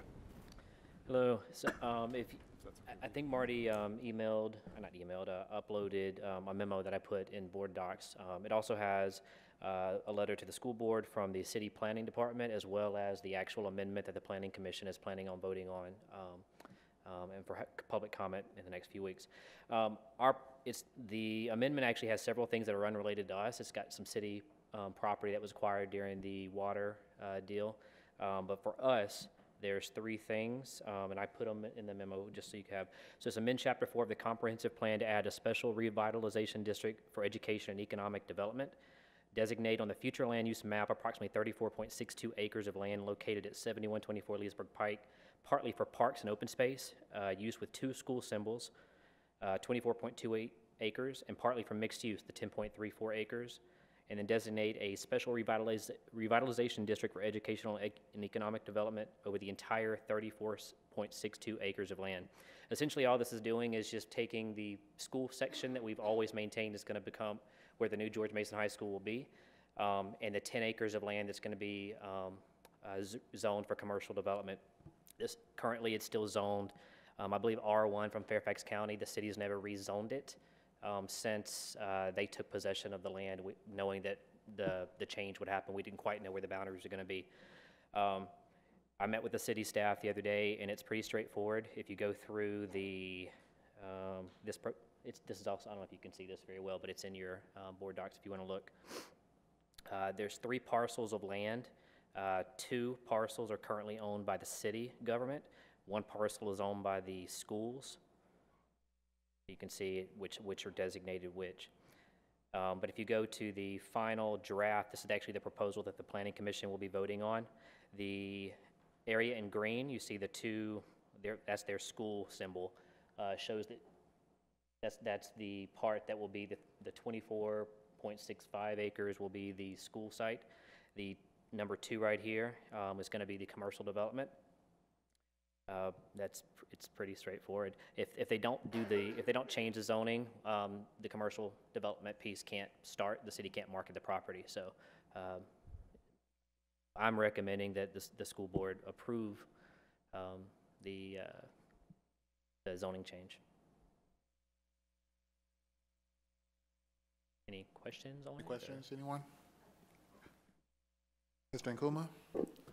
I was just going to add a little color to that. Having had the pleasure of sitting in last Friday's economic development meeting, this issue came up, and uh, my hand shot up after all the zoning mumbo jumbo that I could not understand. But the only question I had was because there was a debate as to whether to zone the land before the RFP or to zone it after or with the RFP, and all that was important to me was does this is the is was the was the were all 34 acres going to be subject to this zoning debate? And and could we clearly establish that the school portion would be zoned for schools and nothing else? And that was categorically confirmed which is what I see now so that makes me happy that portion one the, I mean the item the, the area designated zone one is going to be designated for schools and I guess between the economic development community and the planning folks, they can duke it out on when and where they do with zoning too, but as long as they give us a school portion, we're happy. So, my two So- cents. I just wanted to follow up on that. So for section two, um, is that, is that done? Like, if we vote on this, that is definitely going to be commercial? Like, we can't, I, I don't know, I don't think it's been established yet, what we're, what we're doing exactly with that land and how much of it. But if we vote on this, does it restrict us um, if we need to take some land back for school development? My, my understanding is from when I, when I asked the city, I mean, as long as nothing's sold, this, the city can rezone anything we want as long as it's our property. So, I mean, until we actually, the city signs the, the sale of the land, they, they can still rezone it. Mr. Reitinger? So I just wanted to clarify something. M- My understanding is that this is just a comprehensive plan change, and it doesn't change any ownership of the land. So since the entire 34 acres is school land, it'll remain school land. You- We still have a say in what happens to it. It's just the comprehensive plan that guides how development would be done. Is that accurate? Correct, correct. This is not changing any ownership. Thank you. Any other questions? Is this something that we need to, to vote on now or just informational? Um, I think you have a choice. I would recommend that you go ahead and, and make a move on it tonight, just to put it behind you, um, if you're, if you're comfortable with just this comprehensive uh, plan change. It seems pretty straightforward. It's important for us to have this done, um, so that the, as uh, Mr. Padilla suggested, they can at least start beginning to market the, the mixed-use property, and that we can clearly delineate out which is going to be the school property. Uh, I'm okay with that, but Mr. Reitinger? It's just a question on the form of the motion. The, the motion would be that the school board recommends approval of the comprehensive plan. Is that correct? That's correct. Thank you. Any other questions before I ask, entertain a motion? All right. I will entertain a motion then, please. Mr. Reitinger? Mr. Chairman, I move that the school board recommend approval of the comprehensive plan as presented to the school board this evening. Second. Second. Thank you, Mr. Nkuma. All those in favor, please say aye. Aye. Aye. Opposed? Thank you very much, Mr. Padilla.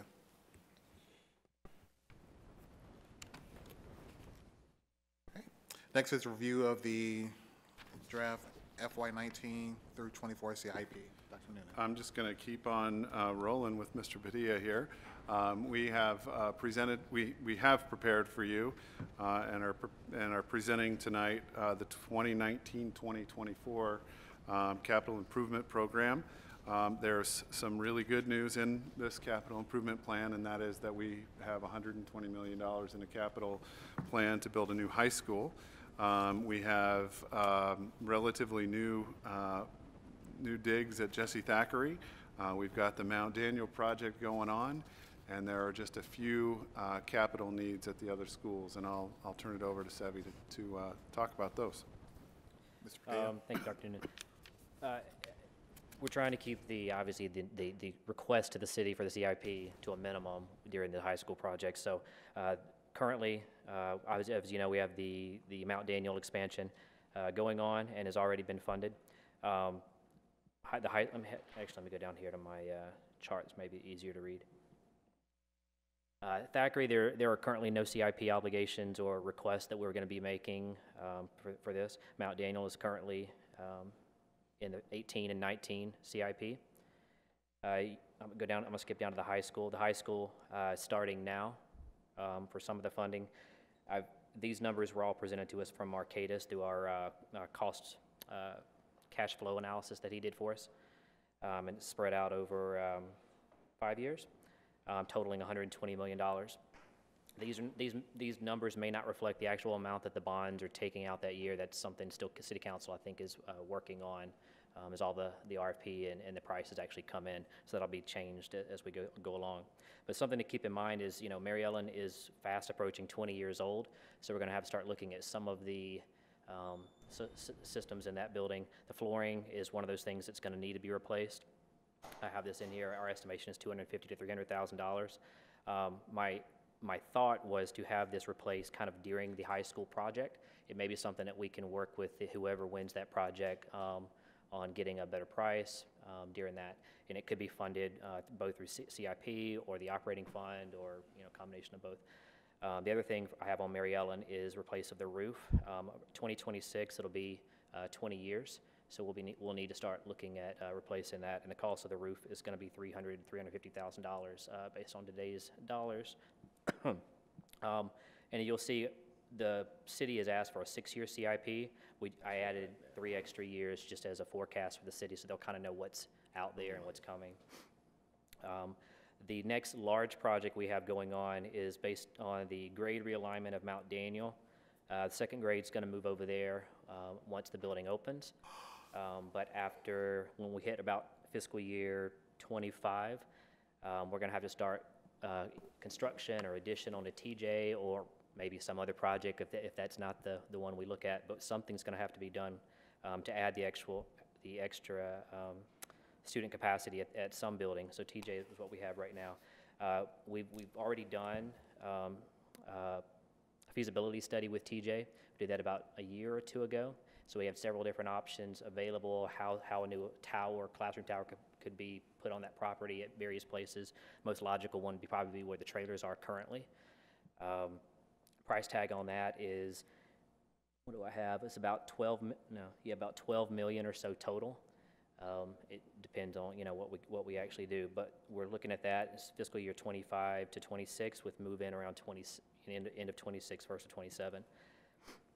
And we'll have to have that done, otherwise Mount Daniel will be above the 606, 660 number that the Fairfax, Fairfax County has imposed on us. Um, So we'll have to do something then. And that's what all I have for that. Thank you very much. Are there any questions about the CIP? Dr. So when, uh, at what point do we need to approve and, and have this? Um, We need to get it to the general government in January. Um, So we can, uh, again, it- because it's a fairly straightforward CIP, you could approve it tonight. Uh, If you'd like to get some input um, beyond what has, what we've shared, um, you certainly could let it sit, and we can put it up on the website and let people kind of look at it, and then uh, approve it in January as well. I just, I don't know um, how much feedback we're going to get, because it's so minimal with respect to what, with respect to what's up there. Uh, Mr. Nkuma? I mean, as, as much as I would love to get this out of the way, could, you- Dr. Noonan, can you tell us when in January, how much time in, in the new year would you have? Uh, We would do it on the January 9th meeting, um, and I think that that meets, I'm trying to remember the night that the CIP's is I don't going remember the forward night with the that the city city. has requested it. Um, I want to say it's right in that window. Yeah, it's Uh, But if, if it was, I- they may actually be going the 8th, and if they're going the 8th and we approve it the 9th, I could give them a draft um, to incorporate into their um, capital program Is there a meeting before the 9th? with us. Yeah. Um, No. Uh, the only reason I was, I would defer it is so our colleagues coming on board would at least have a chance to own it, if so to speak, but that's about the only reason I, yeah. Any other comments? I'm, I'm fine deferring it to January. Also, you know, just to make sure it is out there for the community to have a look at. I think there will be questions about TJ, so just letting people know, here's, here's what we're planning, so they see that there is a plan for that. Mr. Lawrence, did you have a comment? Okay. Anyone else? Mr. Reitinger? My only concern is, I, I, I think it is sort of driven by what the requirements are. And I, I'd also like to hear input from the community if they have any. Um, But I'm, I'm concerned that if the city is going to move forward on the 8th and we're doing it on the 9th, the last thing I, I want is to cause things to slow down the process because I think we have to keep the George Mason construction um, fully in our minds, although this is, this is not a part of that critical path. So um, as long as it's not going to impair um, the city, I'm, I'm happy to wait, but if it's going to cause a problem in the overall budget process, I'd, I'd rather get it done right now. Mr. Lawrence? And just putting on my former planning commission hat, eh, we need to get it done today. I mean, in the past, they have always wanted it in December because it then needs to go to, you know, the city manager, manager and, and city master because the, the formal presentation of the CIP is at the first planning commission meeting in January. So if, you know, council comes in at eighth and we do something on the ninth, that's putting them behind the eight ball. The, and frankly, you know, we've got enough to deal with them without artificially starting off 2019, 2018 with, uh, with a problem. I mean, it's just, the CIP is a big process, and on top of budget, the city staff really doesn't need the, the delay. With the information from Mr. Lawrence, I'd suggest we approve it tonight. If it- If it brings any comfort to, uh, to the board, um, we are looking at the out years of 25, 26 on the Thomas Jefferson piece, which I think would have the most question. Um, That's still outside of our six-year CIP window, so we've got, we've got some time to sort of work through this as well. So if that, if that helps with mitigating a decision about tonight, um, I offer that as a- a possibility. I believe that, that does uh, give that, uh, that little window of comfort there. Okay, um, so with that, uh, I'll entertain a motion for approval of the CIP for FY nineteen through twenty twenty-four. Mr. Chairman, I move that the school board approve the submission of the CIP content that was presented to the board this evening. Thank you, Mr. Lawrence. Uh, all those in favor, say aye. Aye. Aye. Opposed? Thank you very much.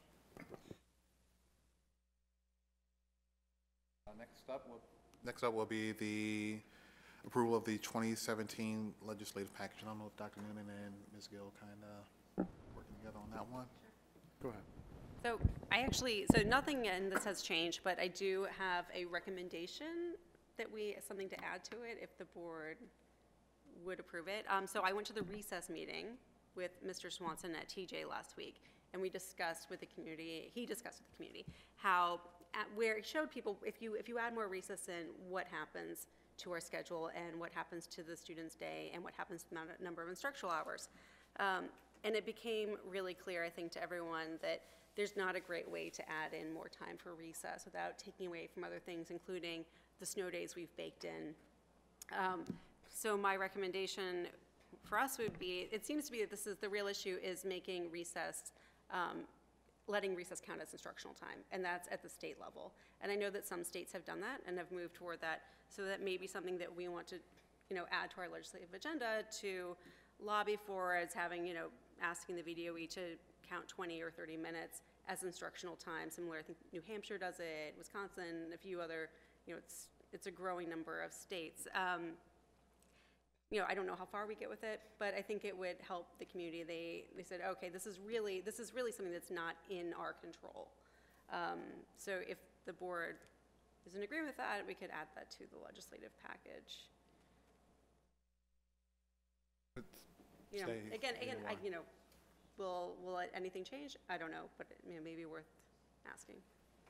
Sounds reasonable to me, especially seeing as that's if the legislative forum is, is where you, where this change, or where they'll be listening to this and make any possible changes. But that seems, to and Dr. Noonan can correct me, but I think that seems to be the main issue. Recess does not count as instructional time. So if we add more recess, we have to take that out of instructional time or extend the school day, or as some um, parents have requested, eliminate early release Wednesdays in order to get more time in the schedule. Um, The easiest way to go about this, which may not, is not even easy, is, is trying to figure out, can we change this at the state level? Makes sense to me. I have no issue with that. If anyone, we have to, No objection. Do we need to vote on that, I that? guess, so do we amend, will we amend that uh, to what's already out there for our legislative package? Right, so, so I think the way that you would adopt it would be adopted with, with the amendment made from the diocese. We're gonna need some sort of. And I'm happy to work with Lila. Yeah. I can, I can do it on the fly. Okay. And I didn't, I didn't want to talk to Lila before first asking the board if this was something, um, I didn't want to move without anyone's approval. Mr. Reitinger? So, um, I had a question on one other element of the plan. I'm just, and that is, um, one of the continuing issues is that the Falls Church School Board supports legislation to return control of the public school calendar to local school boards. Um, Could you unpack that for the, for me and the community? So that, that would allow us to decide when we start school. It would remove the barrier that we must start after Labor Day, as so many other jurisdictions have been able to do via waivers. Um, That would allow us to decide that, you know, maybe we want to start a week before Labor Day. and we would get another week of Christmas vacation back, or holiday vacation back, winter break. Sorry. Thank you. So I will entertain a motion and with potential with the addition of, Mr. Chairman, I move that the Falls Church City School Board approve the legislative package as presented with the following amendment, that the, this item be added. The Falls Church School Board supports legislation to allow inclusion of recess time as instructional time. All right, thank you. Is there a second? Second. Thank you, Ms. Gill. Can I ask one question?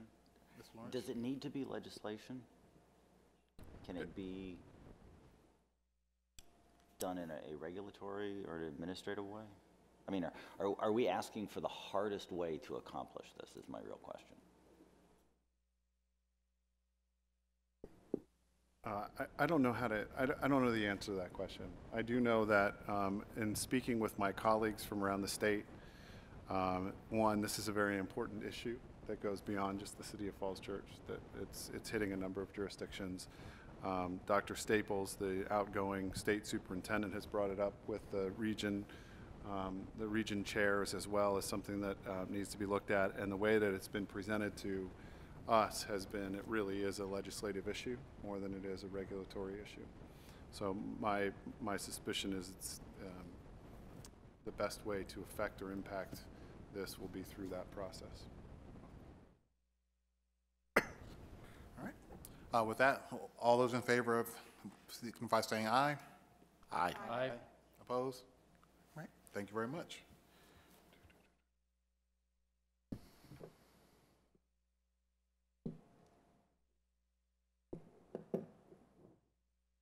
And next, we'll move approval of the 2018-2019 school year calendar.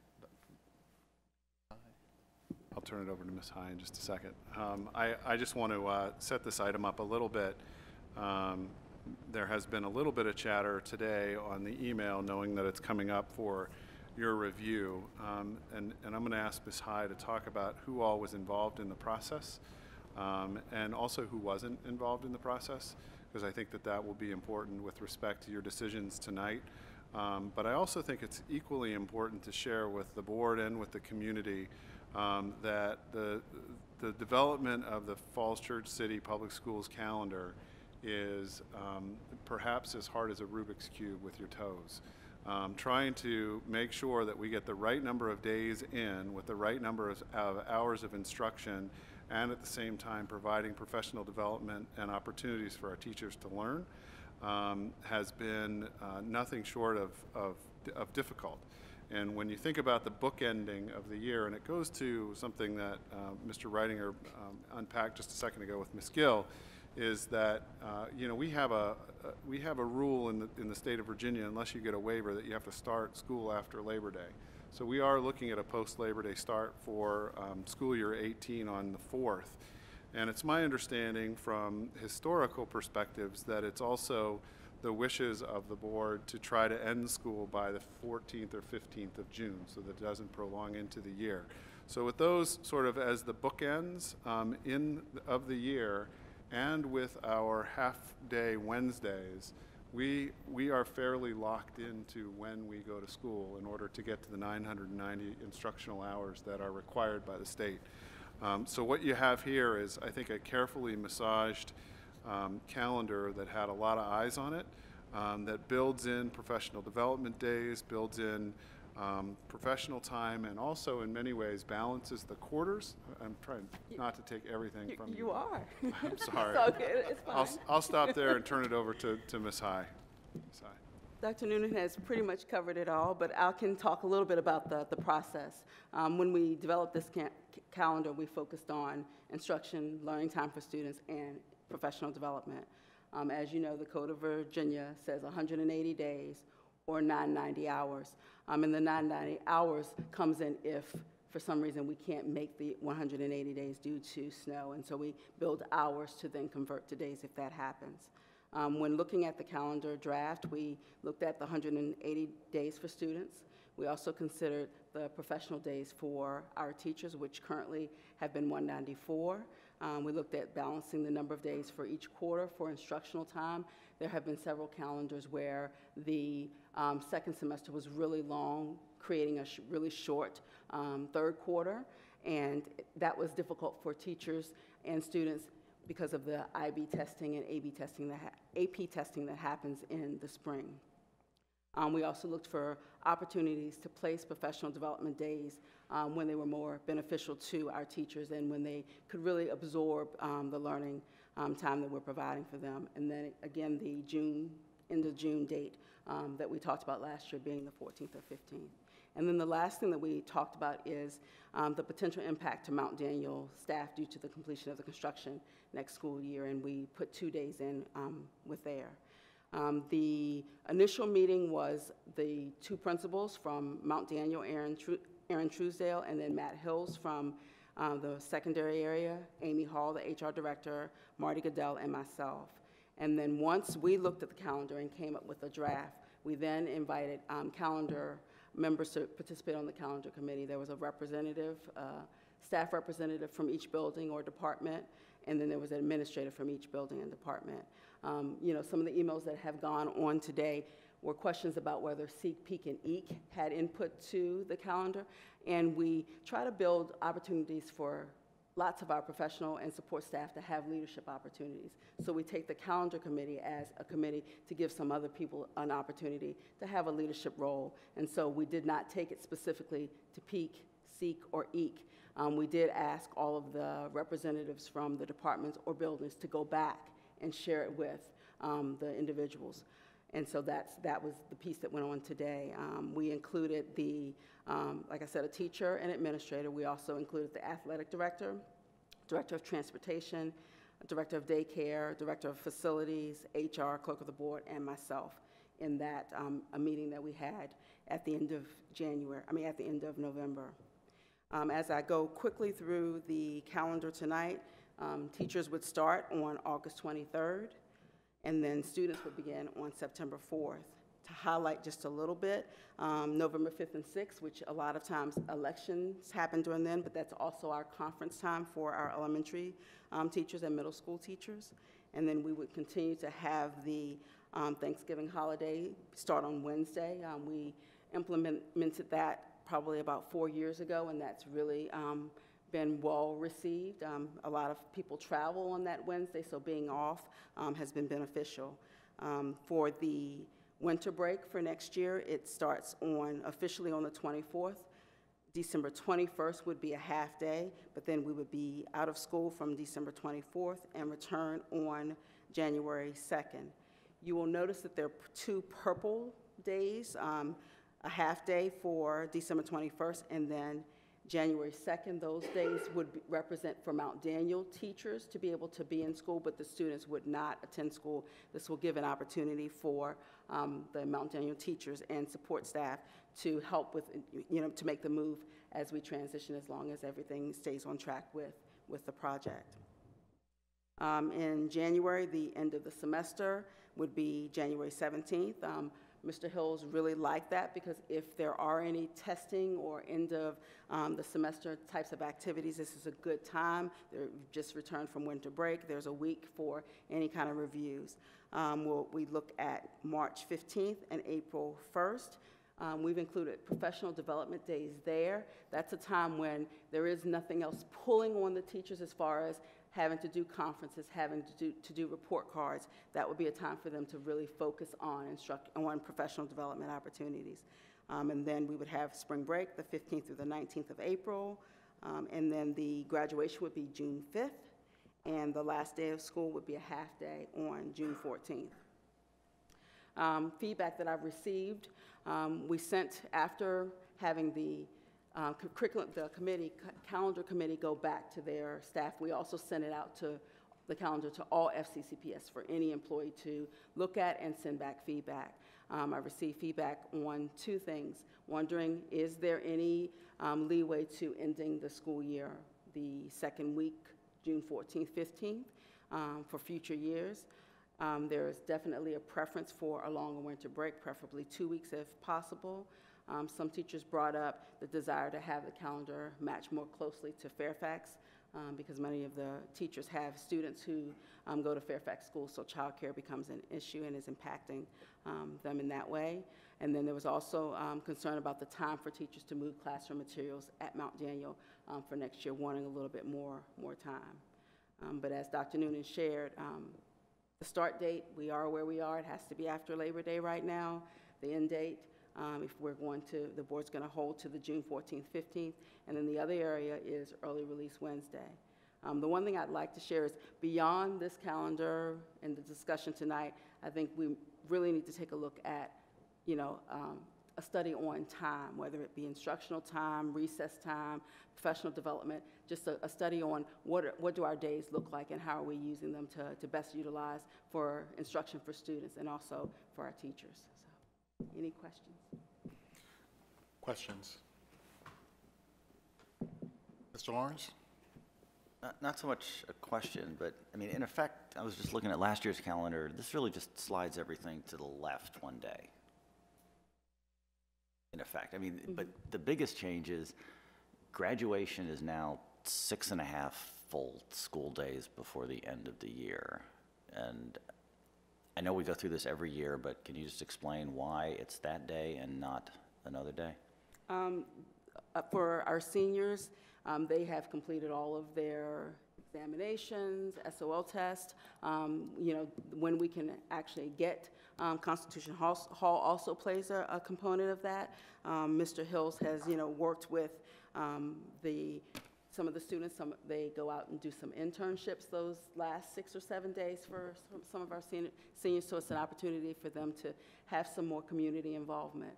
Um, There are some students who, uh, and the universities start some of their so- summer programs also in the second week in June, so that would give those students an opportunity to be able to participate in um, their, their university, college um, orientations that have begun.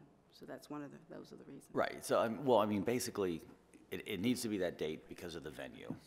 That's when we could get the place where we're gonna hold our graduation, but it's not like they're just then going to school every day and sitting around and doing nothing. No, they, typically, a lot of the students do some in- externships. Right. um, At the end of the school year. Okay, thank you. Mr. Nkuma? I was just going to add that because by, they've checked out right after April anyway, the seniors.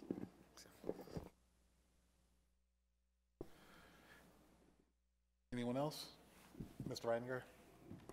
So just briefly, um, I'd like to thank the work, the calendar committee and Ms. High and Mr. Noonan for this difficult um, activity. I know it's, it's, you know, no good deed goes unpunished, and there's really, you know, there, there's only a couple of ways to square the circle. And as both Ms. High and Dr. Noonan pointed out, um, having to start after Labor Day um, and then trying to end at a reasonable time basically forces how long the winter break will be. And you can't, I mean, you can't do anything else. Uh, The one thing I would say is, in response to those people who want a longer winter break, I get it, I'd like a longer winter break for our kids too, you know. My kids would be much happier with two weeks off. But I think um, everybody is annoyed, not some people, but everybody is annoyed when school goes to the 23rd or 24th of June. Um, and the actual, it- well, uh, I- I'm going to disassociate myself from Mr. Nkuma's comments that students check out in April. Um, I, I do think that the, the level of attention from all students after the SOL process goes through, and the farther you get into the summer, at least decreases in a, in a calculable way. Um, so ending school earlier makes sense, and unless and until we have an agreement from the state that we can, and then the city decides that we want to start before Labor Day, this strikes me as um, not only the best of all possible options, but really the only possible option. And another component that we do consider is when we do our summer programs, they usually start right after July 4th.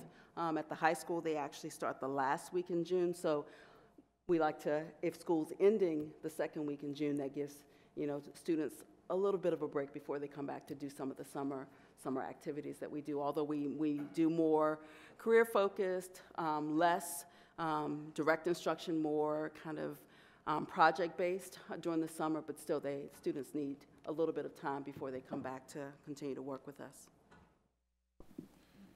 Any other questions? Uh, just mine is, uh, again, to thank the, uh, calendar committee for all the hard work that you uh, do every year of kind of putting that jigsaw puzzle together of, and trying to accommodate as many different folks as you, you potentially can.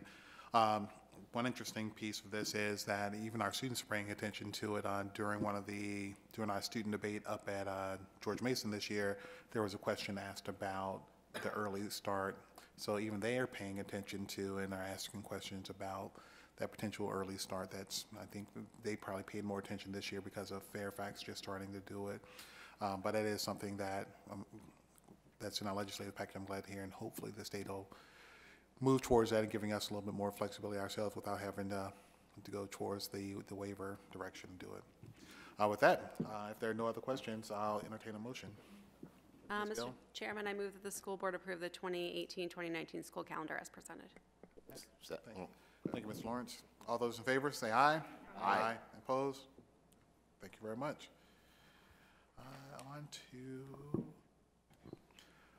approval and adoption of second reading of policies. Ms. Menson. Good evening. We have seven policies for second reading tonight.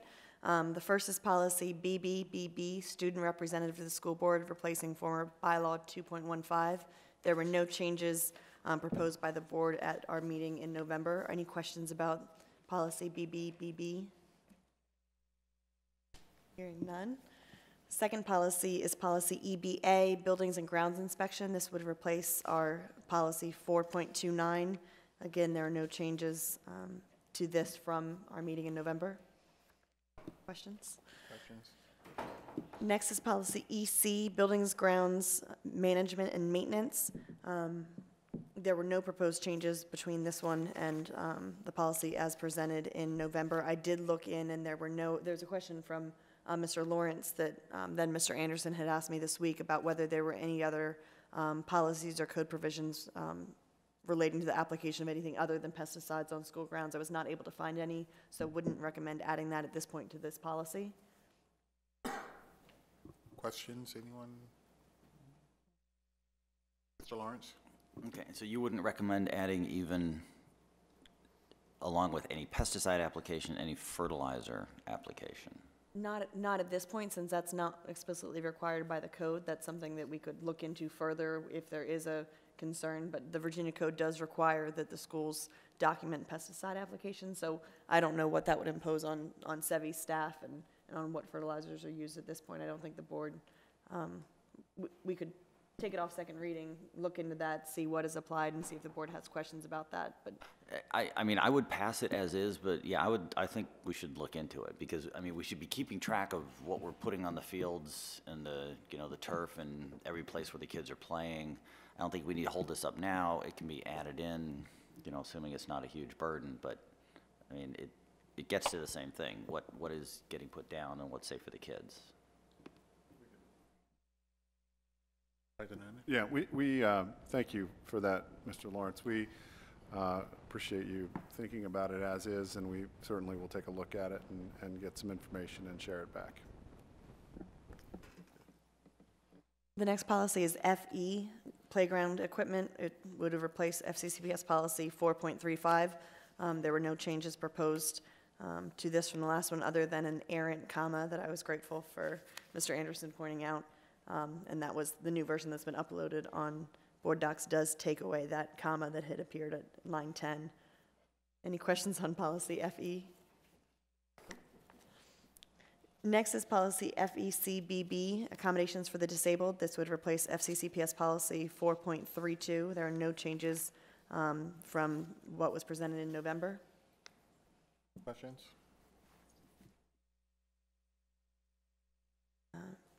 Penultimate here is policy JEBA, the admittance of children younger than five years old to kindergarten. This was a policy that we had put together that was not based on the VSBA model policies.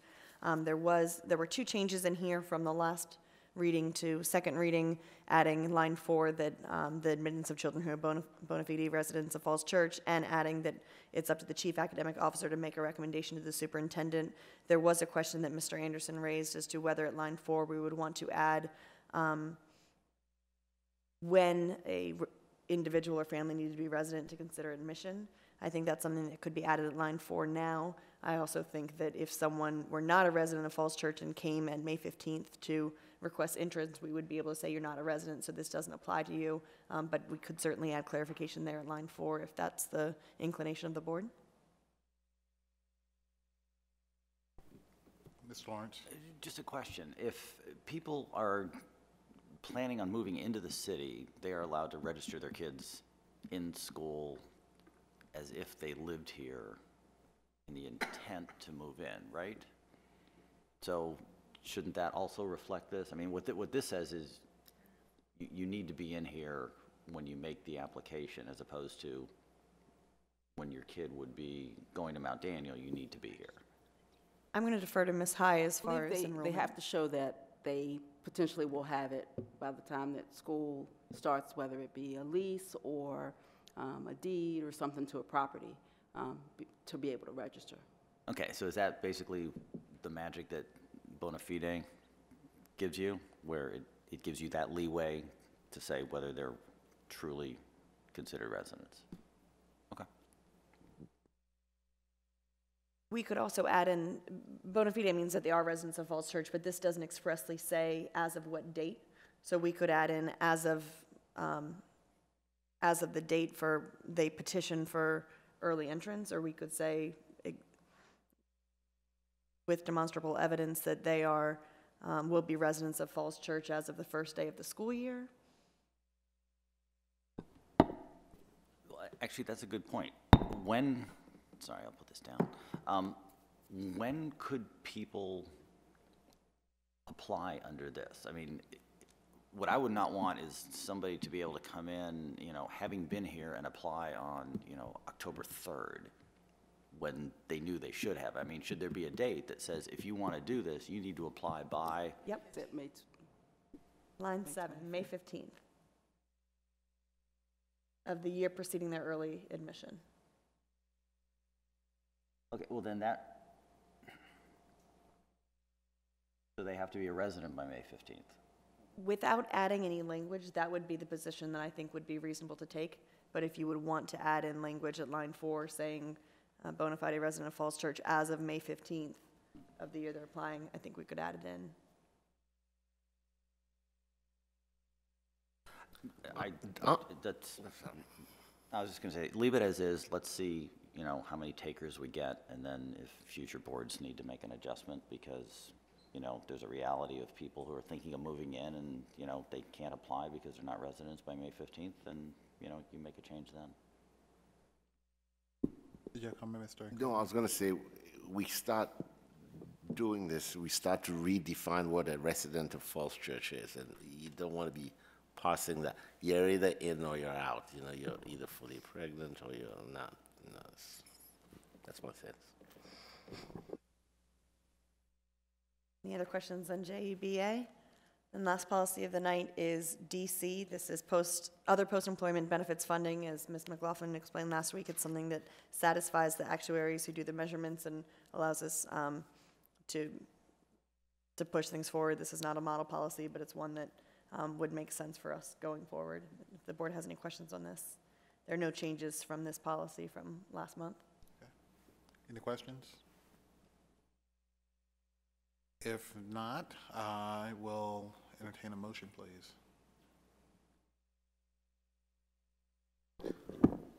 Mr. Chair, I recommend that the school board approve second reading and adoption of the following policies. BBBB, student representative to the school board, EBA, buildings and grounds, EC, buildings and grounds management and maintenance, FE, playground equipment, FECBB, Accommodation for the disabled, JEBA, admittance of children younger than five years old to kindergarten, DC, other post-employment benefits funding.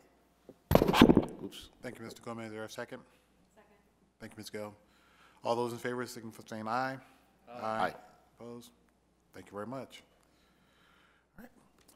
Uh, Future agenda topics, and I know there are two that are listed on here as a potential um, conversation that we want to have if we want to add those to them. The first one is, we talked a little bit about this evening, and was recess, and now, I'll want to turn over if Ms.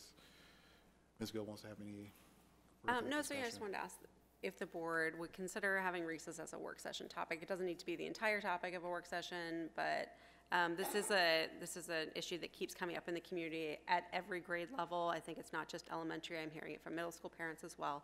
Um, and just general more movement times. It was, Mr. Swanson's presentation, uh, Mrs. Russell was there too, um, was really helpful, but it was only seen by a very small number of parents.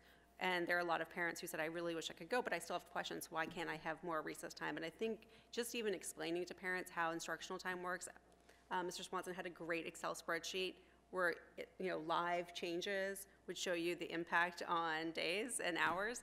Um, and then, you know, discussing as a board how we, how we'd want to go about um, lobbying to, to change this. Um,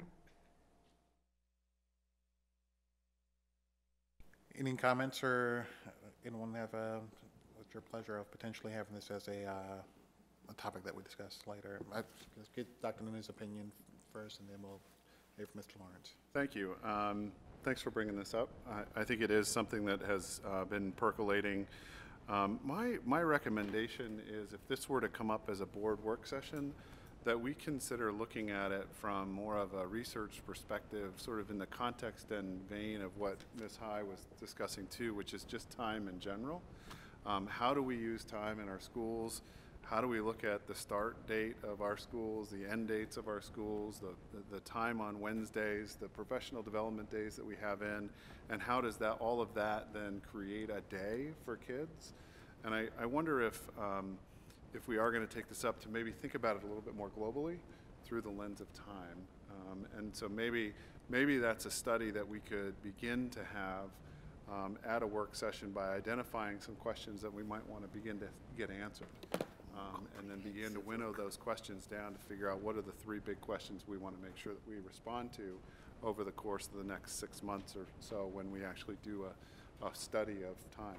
Because I think it's, I think it's a worthy exercise uh, for this, for this board. I, I've never seen, um, that's hyperbole, I don't want to say that. Um, I, I would say this, as, as Mr. Reitinger said, I, our calendar is super tight. We have some days that are baked in for snow, but not a lot.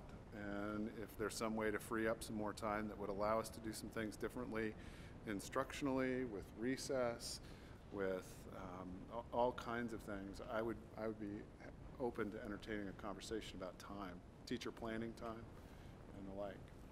Yeah, no, that- I think that sounds great. I liked what you were saying earlier, and so thank you for reminding me. Um, I think that's fantastic. And, I mean, other, there have also been some novel things that came up with Paul, like, do we decouple recess? I love that we're a small district, and I think we can be really nimble in this area, maybe even leaders in Virginia, and how we think about recess and activity, and how, like you said, how our students and how our staff spend their day. Thank you, Lisa. Ms. Lawrence? Well, and just, I, I like what Aaron said about making movement time, because not just recess, you know, there's some schools that have, you know, before school, I'm not sure what they call it, but basically ways for, you know, kids who wake up with a ton of energy, and they come to school with a ton of energy, they get to burn some of it off before school starts, as opposed to waiting till lunch. And let's face it, I mean, people know that exercise is, it's good for the brain too. So I would say don't, don't limit it to recess. But, you know, if you're going to expand it to include time in general, include, you know, before school and, and after school, but make it movement because they, they definitely need more. Thank you. Okay. Well, I, I would, I'm in favor of it as well. Um, uh, is there a time frame that you would like to potentially, or let you and the staff look at it from a perspective of when it works into our work session calendar?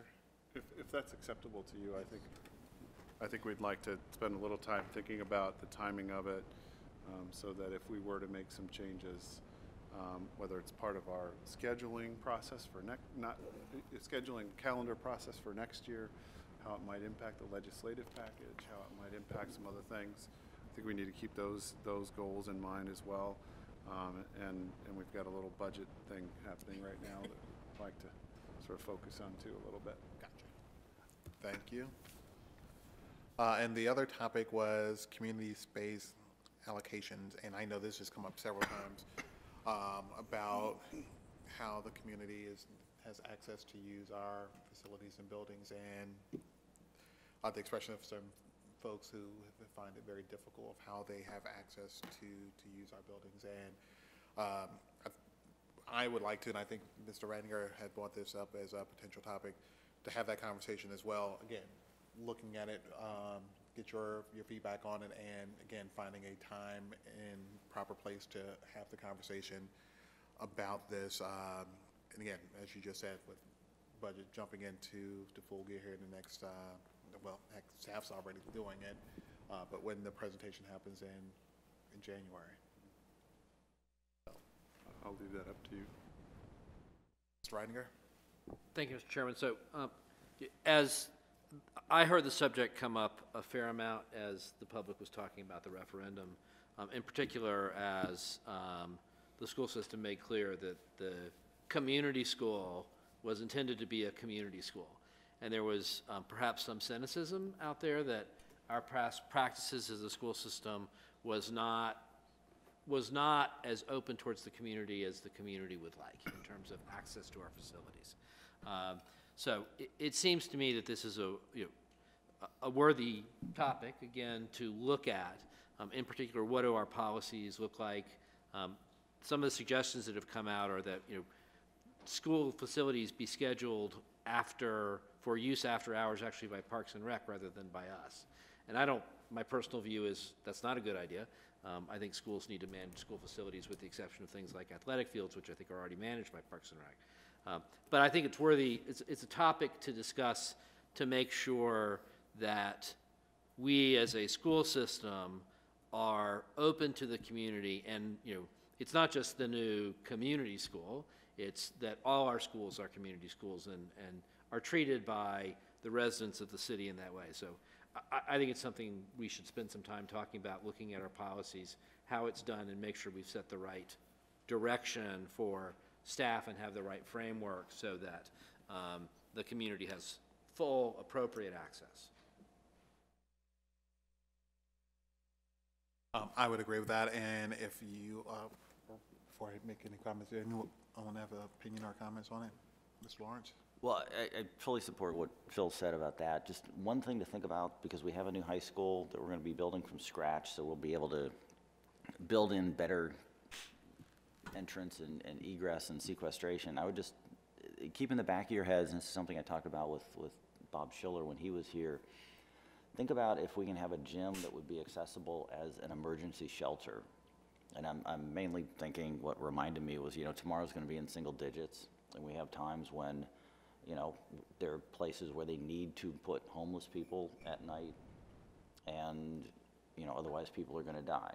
And there are ways to, to do that in schools, and some schools do it, but, you know, you need to make sure that there is sequestration, and, and you can do that better with a new school when you think about it ahead of time rather than trying to do it with a 70-year-old school. So it's a different kind of community use. It's a, a very different community, but, you know, we can think in a different way than, than we have in the past because we've got an opportunity we've never had before.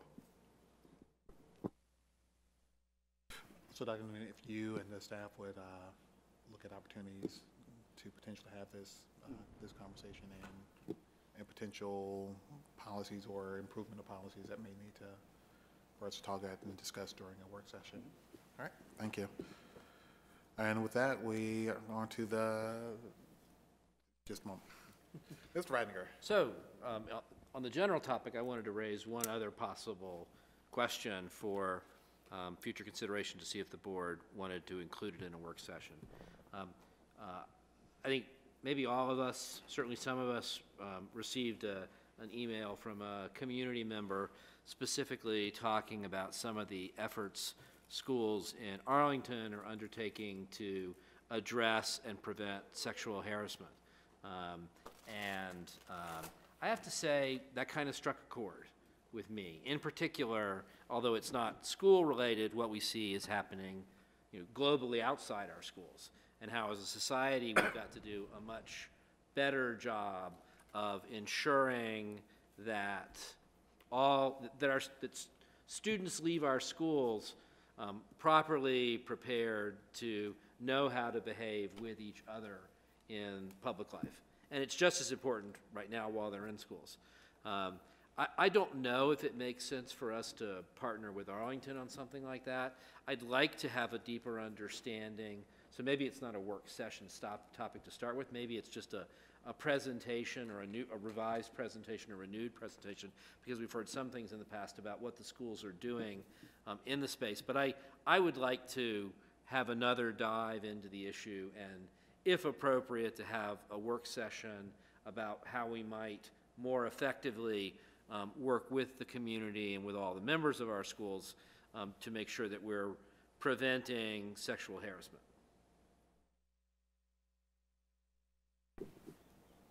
I think that's some great topic area, and I don't know if Dr. Noonan Um, Could we start with some information, sort of as you suggested, um, sharing with the, the board what's currently in place? um, And then talk about some possibilities, and then if it does become a work session from there, we certainly can look at it. Okay.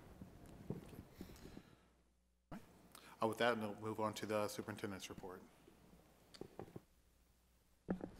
Thank you, Mr. Chair. Um, Just a couple of updates. Um, First, last night, uh, the city council um, met and uh, voted on a, some, our budget guidance for the coming uh, FY19 budget. And I, uh, in case you all didn't hear, um, they did vote to hold at 2% um, transfer with their budget guidance.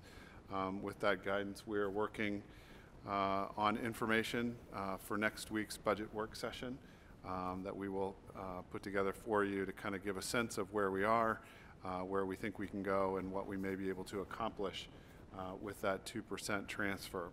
Um, Next week at our budget work session, I'm also interested in hearing from you about what uh, your um, priorities are uh, with a very limited budget um, that we have, uh, what, not only what your priorities are, but where some of those trade-offs might be with respect to the budget.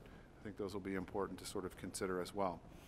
Um, Mount Daniel, just a quick update for the board uh, and for the community. The footings are in um, at this point, and so uh, the foundation will be poured uh, from here, and it looks like um, we will have trucks of, full of steel coming up the road uh, the first part of January. So the building will start coming out of the ground, and we're very excited about that. Um, tis the season. There are lots of musical concerts and the like that are going on, um, and many of you have had your own kids and family members and friends' children uh, participating in those. Uh, in fact, there's a chorus concert tonight at George Mason, um, and so I hope that uh, everybody has had a chance to get out to some of those uh, events as well. Uh, and lastly, um, to kind of keep the uh, work of central office alive and at the front of our community. Um, uh, one of the things that we started last month was from central office, which is a video vignette of myself interviewing two people from uh, central office and giving also giving an update of what's happening. And this month, I'm um, pleased to announce that uh, we we published today, or getting ready to publish today, our newest, um, which will feature not only uh, our own uh, Tricia Minson, talking about what she does with the law, um, but also Perla Endodano, uh, who is uh, working in our HR and, and uh, I'm sorry, curriculum and instruction department, featuring what she does as well. So uh, we'll pu- put that up on the web as soon as it's done. Um, but those are becoming quite fun, actually, to do, and hopefully they're useful. I don't know. But it's just another form of communication to the community about what's happening, and, and hopefully people will pay attention to it. Um, other than that, just want to again um, welcome uh, Kristen Michael to the City of Falls Church and for hanging in there with us tonight. Um, and uh, look forward to the work ahead. Thank you, Dr. Noonan. Any questions for the superintendent? I have one. So, um, from the, the joint session that we had and this recommended number for guidance that came up, is this for the year or did they move forward with this as being a two-year? Uh, one, one year, one year guidance for the, for the FY19 budget. And, and I'm asking, as I was not able to, to watch last night, um, was this a unanimous vote by the, by the council? No, there were, it was a five-two vote. Um, Mr. Sze and uh, Ms. Conley uh, both voted, uh, were in, were in favor of a three percent transfer, and the other five members were in favor of a two percent transfer. All right, thank you. All right, we'll move on to uh, board and student liaison comments, and we'll start down at the end with Mr. Lawrence. Thank you. Um, Last night, Dr. Noonan and I went to the uh, Education Foundation meeting, my last one. Uh, Best liaison assignment ever. They, they gave us cake, which was wonderful. Um, They had their books audited, and they had a presentation by the accountant, and in accountant geek speak, they got the best they could. They got an unmodified opinion, which means, and, and our new COO is nodding her head, saying that's a good thing. Um, eh, What that means is they, they do a good job of keeping their books and keeping their processes the way they should. So, you know, people who are giving money to them can feel that the money is being handled and spent the right way. One shocking figure was 90% of their total expenses are for programs a good number is seven to seventy-five percent. They're spending ninety percent on the program. So, you know, I mean, you've, you've seen the, the overhead, and the overhead is a cubicle, which is Debbie. But, um, they're really putting their money straight through to the, the kids, the schools, the students, the faculty, and everybody. So that was, that was fantastic. Um, Since this is my last meeting, just a, a few comments. Uh, My wife and son were here, first time in over five years, so they, you know, never come to these meetings, which is probably a good sign. Um, The one thing I'm not going to miss about this is getting the, the question from my son about, do you have a meeting tonight? Which is, you know, way too often, yes, or yes, I have two, or yes, I have one tonight, and I have one this morning, and I have one over the weekend. So I'm going to get my, uh, my Tuesdays back, my Mondays back, Wednesdays, Thursdays, and weekends, which will be very interesting. It was, I was doing the math the other day. 18 years ago Sunday, my wife and I moved here, and I added up the time on the library board, the planning commission, and the, uh, the school board, and that also ended up being 18 years, which was kind of funny. So, uh, I'm, I'm proud of what we've accomplished here in terms of Mount Daniel, which, you know, was a nightmare, but it's coming out of the ground. Thackrey, George Mason is on the way.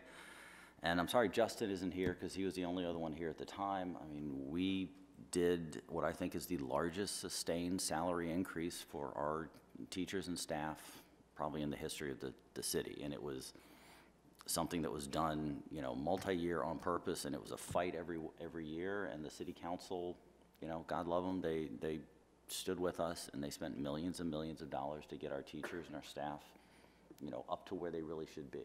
So that was, that was something I was very proud of. Just a couple, you know, words of wisdom to the new people.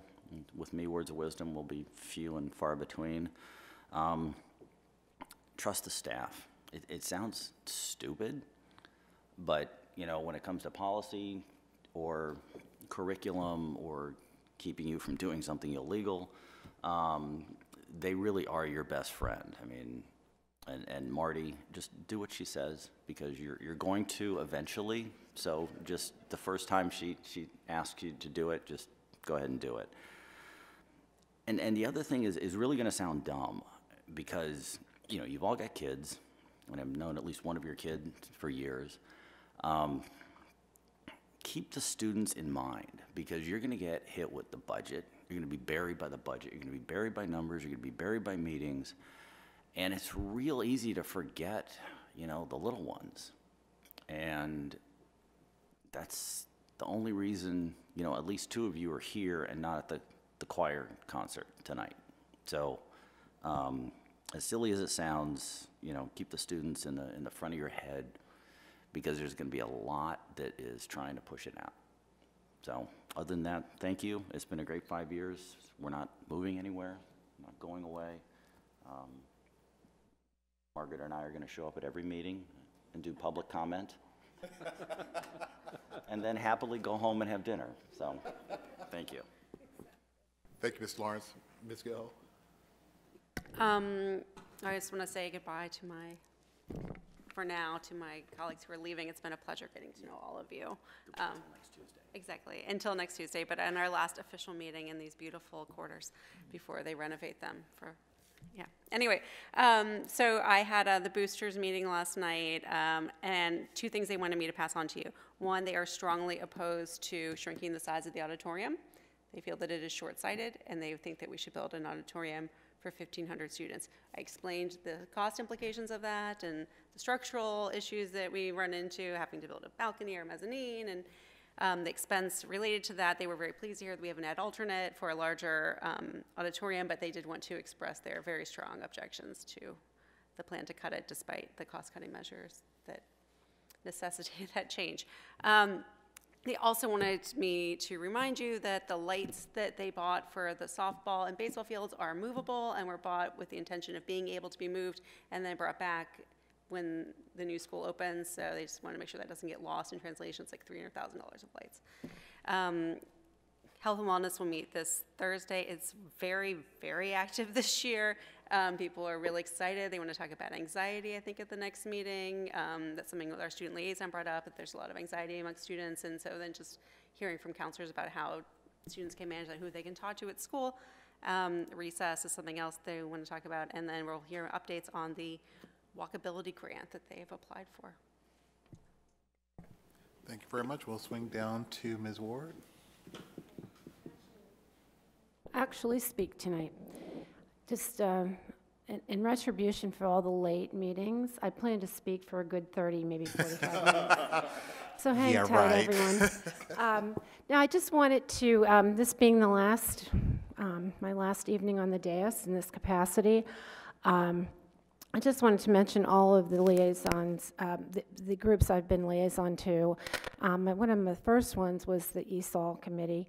Um, and I so enjoyed working with that group, and I, I'd seen so many things that they've accomplished through um, Lisa's guidance and um, the chair's guidance, and, um, and the athletic boosters. I so enjoyed uh, working with that group as well. Very dedicated group of parents, some of whom whose children are no longer attending school. They still are members of that that that group and, and still work very hard to promote the athletics um, at George Mason and Mary Ellen Henderson. Um, and more recently, I have been uh, liaison to the daycare program. Um, um, another another wonderful, wonderful asset we have in this community. It started in 1974, I think, with 14 children, and it, and it has grown to over, I think there's like 330 kids now in the program. Um, one thing uh, many people don't realize in Falls Church is that the uh, the daycare committee is its own entity. It is, um, I think, it's part of um, community services, and it's not part of the schools. People like to think it's part of the schools, but they're their own own operating entity, and they've done a lot of things um, for our schools. They donate. Um, um, playground equipment and that kind of thing through their budget. Um, and so it's really been a win-win situation for our schools. We have this before care and after care program, and um, and it's really dynamic program. They they really listen to the kids and um, design their design what um, what they do, um, their day around what the kids like and what the parents would like for their children to have. Um, and last, I have been most recently on the Gifted and Talented Committee, another great group of parents. I, I'm just loving working with these committees and with the staff that represents um, on the committee as well. Um, so I have some interesting news. I gotta make sure I get this right though, because it's a little out of my purview. Um, the um, TJ Math Olympiad was recent, uh, recently held, and um, Heidi Lang reported on that at the last um, Gifted and Talented meeting. And I have to say, i- i- our, our kids are awesome in the math department. And you can correct me, I think I got this right. So grades four and five scored considerably higher than all the world scores in all the questions, the Math Olympiad questions. But what's even more incredible is grade five scored consistently higher when compared to the world middle school students. I, I mean, fifth grade, scoring higher than eighth graders throughout the world. I, I just, I, I just, it, it, it just goes to show um, the dedicated staff we have, the incredible teachers, and the hardworking students. So I, I, ha- I'm honored to have been um, part of this uh, community for the last four years, and I will miss it, though I will not miss getting to bed earlier and getting my beauty rest, as I seem to need more and more as I get older. Um, but I want to thank everyone that I have worked with. I, I too too many to name. Um, it's just been a wonderful ride. and It's had its moments, but uh, for the most part, I, I wouldn't have traded this experience for, for worlds. I wouldn't have. And to my um, new colleagues stepping in, I'm pleased to see the great talent that we have coming here um, to take over. And, uh, and I wish you all the best of luck, and I know you'll do a great job. Thank you for your, for your dedication and desire to do this. That's it. I really wasn't going to talk for 30 minutes. Got y'all worried. Thanks, Ms. Ward. Mr. Thank Nkum- you. Mr. Mr. Nkuma? So, um, unfortunately, my last speak meeting was a conflict with the school board, joint school board city council session. So I couldn't, I missed that. But you heard from Liz Germa, uh, the, the focus this year has been working on the audit findings. And so it's in, you know, Ms. Germa and the team are working real hard on that. So that should come out at the end of the year. Band boosters um, haven't made, uh, didn't make the last meeting, but prior to that, the focus was, and I've been getting the notes, uh, looking to go to Chicago this time around to one for a performance. They were at the, uh, they were at Carnegie Hall. Is it Carnegie Hall in New York? Yes. So that that was last year, and this year they they headed to New to Chicago. They're going places. I can tell you that. Uh, the Falls Church uh, Elementary PTA, not much to report there, but they're a dynamic group of folks, uh, very energized parents and teachers on that, in that group. So eh, all I can say is it's in safe hands. Waiting for their next uh, school board liaison um, person to work with them. Um, and then Dr. Noonan and I were at the economic development meeting last Friday. Uh, and I can tell you, it's moving. The, the plans for our school are moving right along because Dr. Noonan is on it, and that's all I'm going to say about that. Um, geez, what to say? It's all been said here. Um, I had the same themes that uh, Margaret had. Uh, a big thank you to everybody, everybody. Uh, I'll start with the wonderful central office leaders, staff, teach, and the school system generally. Just been, just been wonderful working with everybody. Um, the community for putting their faith in me for four years. Um, um, for fellow school board members, past and present, those I've duked it out with, and those I will be duking it out with later from the dais. Um, especially, I, I want to make particular reference to Kieran Sharp and Susan Carney. They've been, they were very, very instrumental in sort of getting me in here, guiding me along, and keeping me sane around here for a little while, for as long as they were here. Um, and I want to really thank the community for the November 7th vote to move the high school project forward. Um, it's basically validated the four years I haven't been at home. So I'll put that out there. Um, you know, the, it's, it's been great watching all these projects come. I, I look at that capital improvement CIP budget, and it's all a picture. Just about every building's been touched or will be touched in the last, in the next few. There's sort of like a four, five year cycle where everything is getting touched, and just glad to be part of it. So overall, just like Margaret, it's been a privilege and an experience, and I want to thank everybody. Thank you, Mr. Reitinger. Thank you very much, Mr. Chairman. So uh, I'll start with um, one of the things Margaret touched on, which was the, um, what used to be the ESOL committee and is now the LEAP committee. Um, The, uh, it's a very dedicated and energized group of parents who, hearing Dr. Noonan's request for guidance about what's important to them in the budget, had an extra special meeting last night or yesterday specifically just to prepare what that guidance was. Um, and it was, it was a privilege to be a part of that discussion. Um, they worked long and hard about it. Um, I'm sure it will come directly to you, Dr. Noonan, but the, it, at the end, they, they bottomed out really on two big priorities because they wanted to do more really important things rather than, sorry, fewer really important things rather than more things that might dilute what they were doing. And the first request um, relates to, you all might remember that we put in a program coordinator in the budget last year, and then we didn't get the money from the city council that we needed in order to fulfill that position. So um, they would like that position. They think someone helping to run that program from a central office level um, would be absolutely essential. And the other request really was to um, provide more translation of documents. I know we're moving forward very smartly um, on uh, Spanish translations in particular, but um, the committee members, as a general matter, thought you know that it, it school for people who are not native English speakers can be extremely confusing, um, and that whatever we can do to have more documents available in the native languages of some of the larger populations would be really helpful. Um, and both of those struck me as exceedingly reasonable. Um, as Dr. Noonan's comments from earlier point out, with 2% guidance from the city, um, we're more likely to be working on try to buy toilet paper rather than hiring new positions. But I think we've got to do whatever we can because, um, as um, Mr. Lawrence said so eloquently earlier, the kids come first.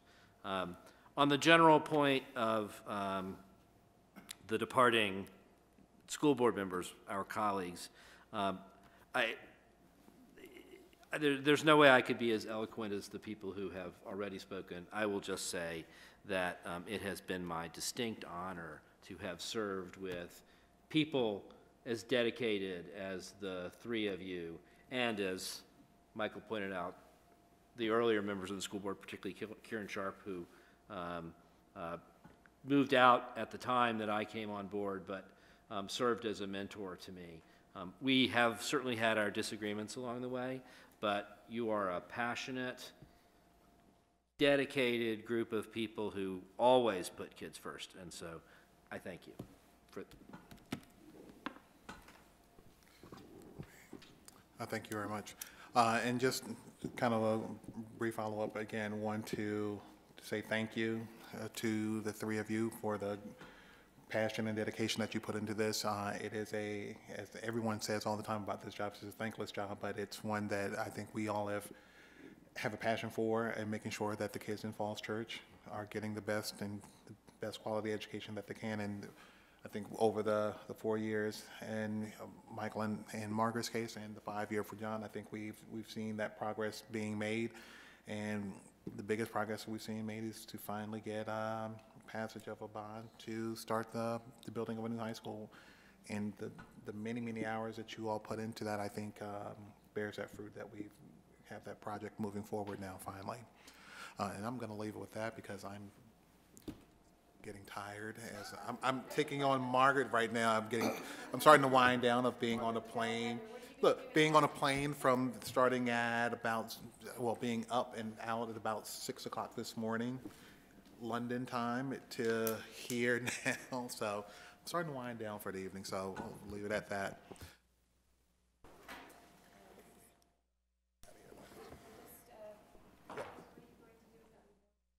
I know. I think you've gotten us set for that, Ms. uh, Margaret. I don't think we'll have to worry about that anymore, I hope. All right, with, uh, all right, with that, there are no minutes to be approved, and everyone can read over the enrollment number if there's any other information. If not, we stand adjourned for the evening. Thank you all very much.